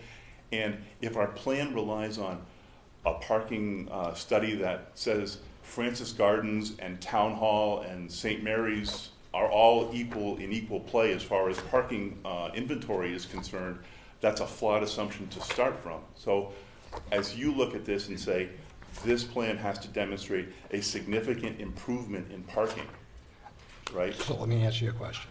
For me, Yeah. for this specific site plan, I'm looking at the parking requirements for the site. I'm not looking for huge enhancement for the downtown area. As a matter of fact, you referenced parking areas that are not part of this process whatsoever of these. They were, they were brought in here in They December. were brought up as there is ample parking elsewhere. It's not part of this site plan review. It's just, it was conversation, right? So for me, I'm looking at site circulation. Is there ample parking for both the retail and the um, uh, residential portion here, understanding that this particular site has um, an element of enhanced parking for the general area, which I believe it does, given the numbers that we have. So mine is about the site, not necessarily beyond where I think you're thinking like the whole downtown area. That's, and I, and, and, and again, we're here for the site plan review. channeling my Mr. Molina, my inner Mr. Molina for a second, um, the, the special permit granting authority says you'll consider the town center as you make these decisions, and they must demonstrate a significant improvement to the functioning of the town center beyond And- just the and- site. And given do that, given the fact of what the parking requirements are estimated, which, listen, we, we- we all have guiding principles that gives us information that we make decisions from, right? Based on that, and based on the fact that there's ample parking for that, in addition to a free parking that'll be available for everybody else, that does enhance, for me, the general downtown area. Granted, all in one particular area, I think, it- we're not thinking that this is a magic wand that's gonna solve the Sure. parking, si- One parking extra- situation. I apologize for interrupting you, I'm sorry, but. No, it's okay. uh, One extra space is an enhancement. The criteria say significant improvement, and the, and the baseline is, is the, baseline area is the town center. So I would just encourage you to think hard about the standards, because when the laws were changed, the zone, new zoning was put into place, and, and all those expectations were set in 2020, when, uh, uh, uh, when, when town meeting, uh, you know, moved all those things forward, it was because this would hand, get handled holistically with a town center-wide lens on it and not applicant by applicant. So I, I leave you with that I- thought. Thank you. Thank you. Thank you. Appreciate your time. Excellent. Is there anyone else in the audience who wishes to be heard? Okay, seeing no hands. So, we've been, we've been at this for quite some time. Um, I can tell you myself, I, I, I think I have enough information. I'll, I'll ask the board, is there any, any particular report or information that the board is waiting for or needs? Mr. Jerry? Um, I'm just curious, because it's come up a number of times, would you entertain an increase in the commercial space or a further reduction in the unit count? Or is this sort of your final? This is probably the final iteration, uh, just relative specifically to the 7,000 square feet and the 53 residential units. Thank you. Mr. Rotalakis? I think I You have not enough waiting any information. additional- Have enough information. I think we have enough information. Okay, uh, is To the make the town decision. awaiting any additional information or any additional reports? No, uh, they've submitted all the required uh, reports, and if the board is satisfied with the information they've received, we are as well. Okay. And as I mentioned a little bit earlier in the meeting, I mean, we could bounce this ball back and forth forever. Um, I, I know that we've talked at length repeatedly on many topics and some new, and it's all well and good, and I promise you that my ears have been open throughout that whole process. Um, So given that, I, I, I believe we have enough information for us to start thinking about this. So at this time, um, I would entertain a motion to close the public hearing. I move that we close the public hearing on the one to seven Maple Avenue, Beal Commons, site plan approval and special permit. Do I have a second? Second. All in favor? Aye. Aye. Okay. What we do not have is a draft decision. However, I know there's a draft decision going under, uh, going under review at this moment. Um, What I'm going to ask is, um, when that draft decision is available, that the town planner will email that to the board members, and I'd ask that you each review them. If you have any questions or additional um, comments about that, or any, any specific condition that you would like to have added, I'd like you to please forward that all to the town uh, planner's office, and um, have it so that we're ready to discuss it uh, for deliberation at our next time that we can get together. Is, is that something that, it seems like now that we have a meeting next Thursday, is that something that you- we think we can have a decision drafted? I do believe so, yeah, so we do have a draft decision, it was not circulated to the board, I do have it um, out being reviewed by town counsel currently, so um, I do anticipate to have that back uh, in short order, and um, we can certainly include anything else that's required. Okay, so why don't we um, await that notification, take some time, review it? Again, thinking about all the prior meetings that, no, it's time- we're we're shut off for for comments at this time.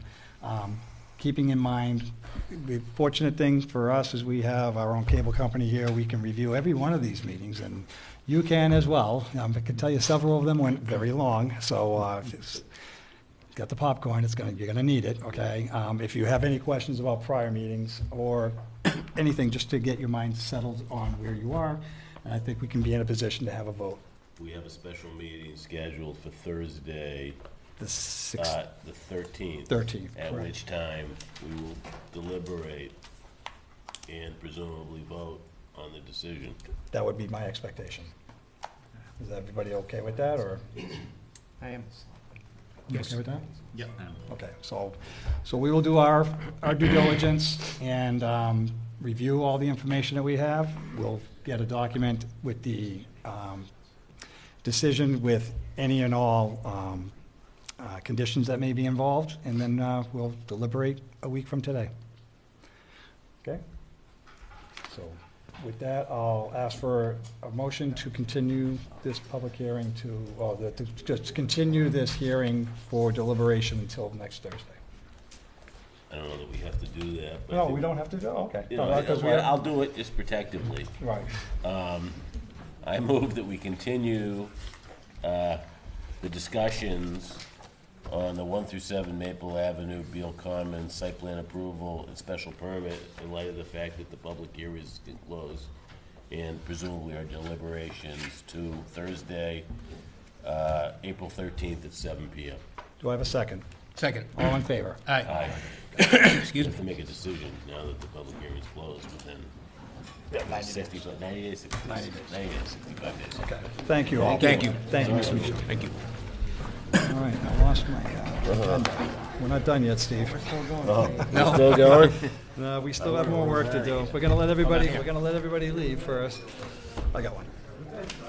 No, we No. have more. So as, as you uh, exit, could you please um, hold your conversation till you get outside? We just have a little bit more to cover. Thank you. That won't happen. No, that's not gonna work. Give it a try anyway, right, Perna? You- you gotta try.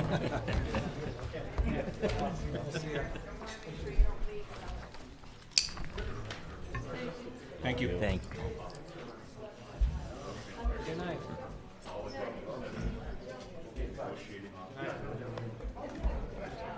Okay. Now we're, uh, all right, it's quieting down a little bit. Okay, our next item of business is a continued public hearing for zoning warrant articles, annual town meeting for 2023. Mr. McGoldrick. Um, Yep, so we still have the two zoning articles. Do you want me to go through them uh, in detail again, or?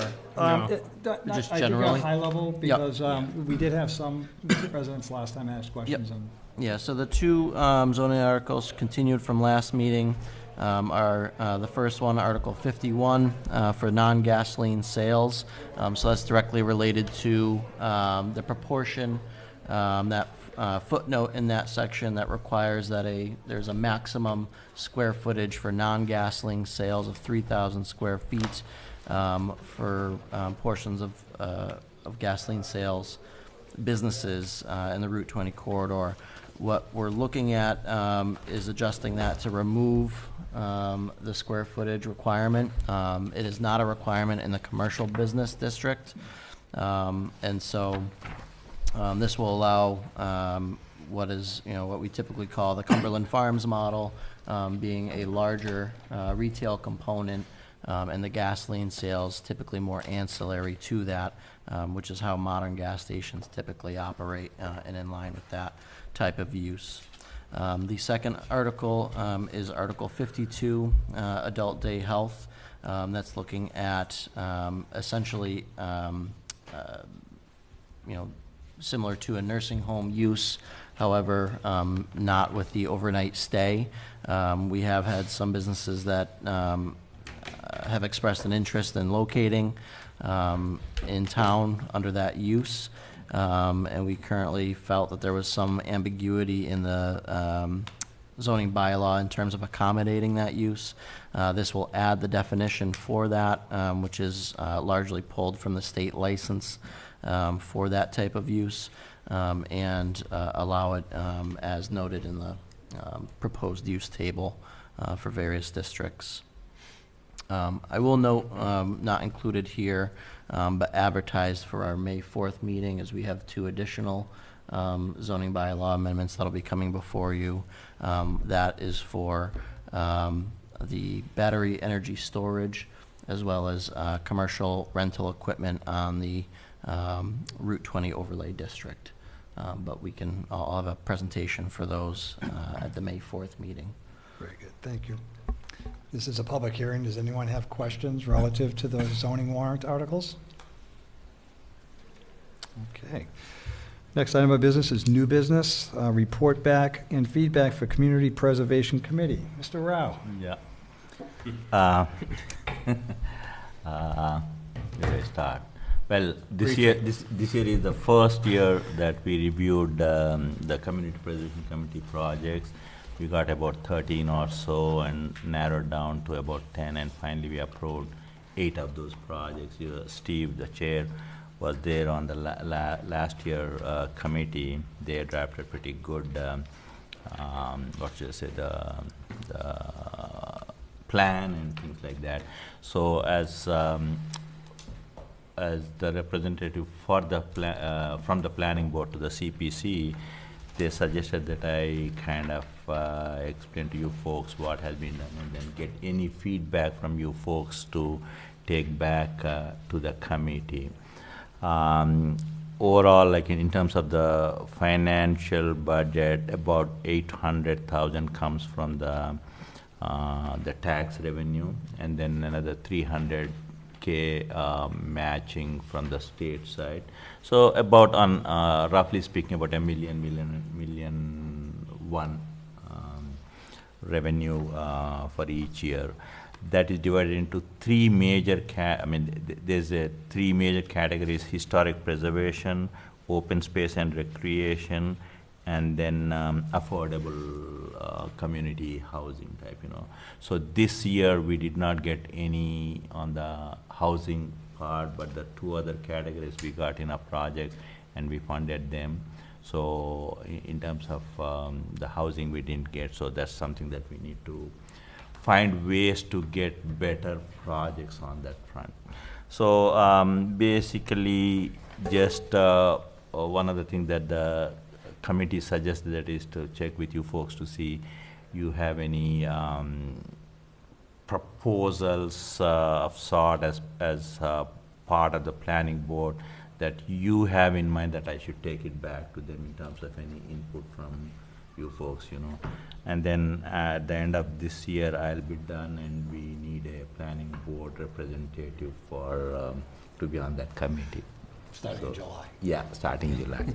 So uh, again, the, the first year it was learning experience for us, and uh, we were just like the planning board here. You know, we were very open in our uh, meeting conversations uh, with the applicants, telling them it's it's this the first year, so we are learning, and uh, they have to be prepared for any things that are. Like, fortunately, we have what they call as coalition for the for the community preservation committee. I think it it's probably one or two people who are statewide that kind of we can ask them questions and to get some answers and also to be consistent with how other towns are doing that too. So all in all, I think um, it was good experience uh, for us and for the committee. And um, we just this last meeting early this week we had. Um, an information session for public, and uh, Jason Molina, who is the chair, did a good job of presenting the whole um, CPC uh, plan and um, looking for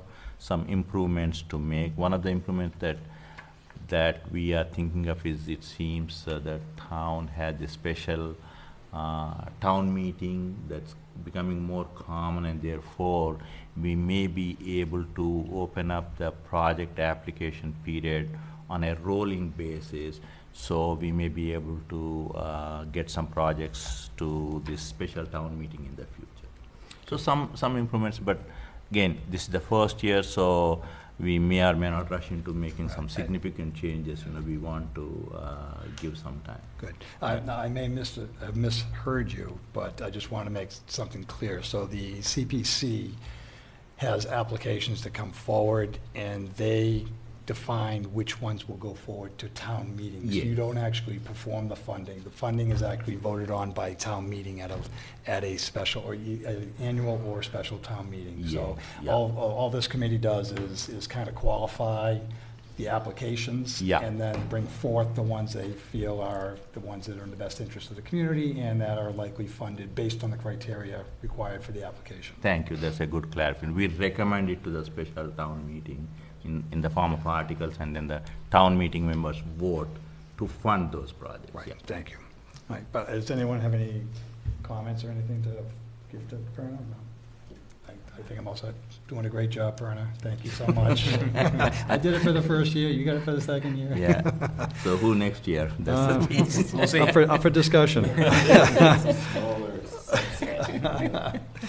Um, Our next item for new business is discuss and vote on issuance of bond for 420 Turnpike. I don't have that bond. Do you have that with you? So I do, yeah, I do have the bond. um, Yeah, 420 Boston Turnpike.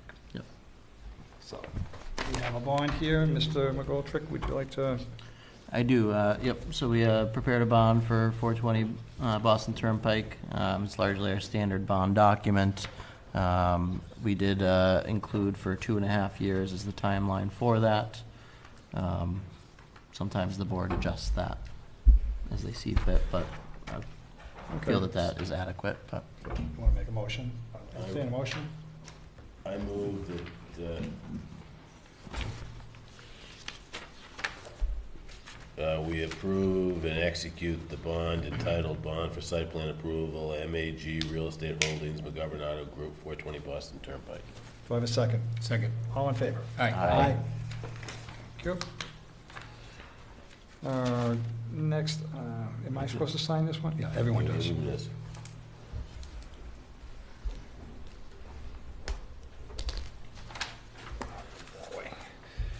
Next item of business is to discuss road acceptance recommendations for Cypress Avenue, Glendale Avenue, and Oak Meadow Circle. Um, Yep, so we have uh, road acceptance recommendations, um, and and our uh, town engineer, uh, Andy Truman is here as well. Um, But looking at Cypress Avenue, Glendale Avenue, and Oak Meadow Circle, um, uh, these have been placed on the warrant for town meeting um, acceptance. Um, We see them as largely completed, um, and uh, just looking for the board's recommendation uh, in terms of accepting them at town meeting. So nothing's outstanding that you can see? No. Okay. Everyone fine with that? Entertain a fine. motion to, I guess, uh, I move that we recommend those streets for acceptance to town meeting. Double check it. do I have a second? Second. All in favor? Aye. Aye. Awesome. With that, we are at the end of our agenda. I will entertain a motion for an adjournment. Uh, I move that we Mr. Chair, if Oh, I- excuse me one second. if I may, just with uh, correspondence, I had my one Oh, letter. please, thank you. My one uh, shameless plug. Um, So, um, uh, I did provide a letter to the, to the board um, detailing that we have our um, facade improvement grant program uh, now in full swing. The application is open. Um, We are putting together the review committee for that, um, and that letter is inviting any interested uh, members of the planning board to participate on that review committee. Please reach out to us. Uh, We'd be happy to, to include you um, on that committee. Thank you. Yep. Sorry, I- I I actually had a note on a previous notepad, and I didn't bring it with me, so uh, my It's all good. apologies. Yeah, I- All I good. looked at it. All right, with that, I will entertain a motion to adjourn. I move that we conclude this evening's public hearings. Do I have a second? Second. All in favor? Aye. Aye.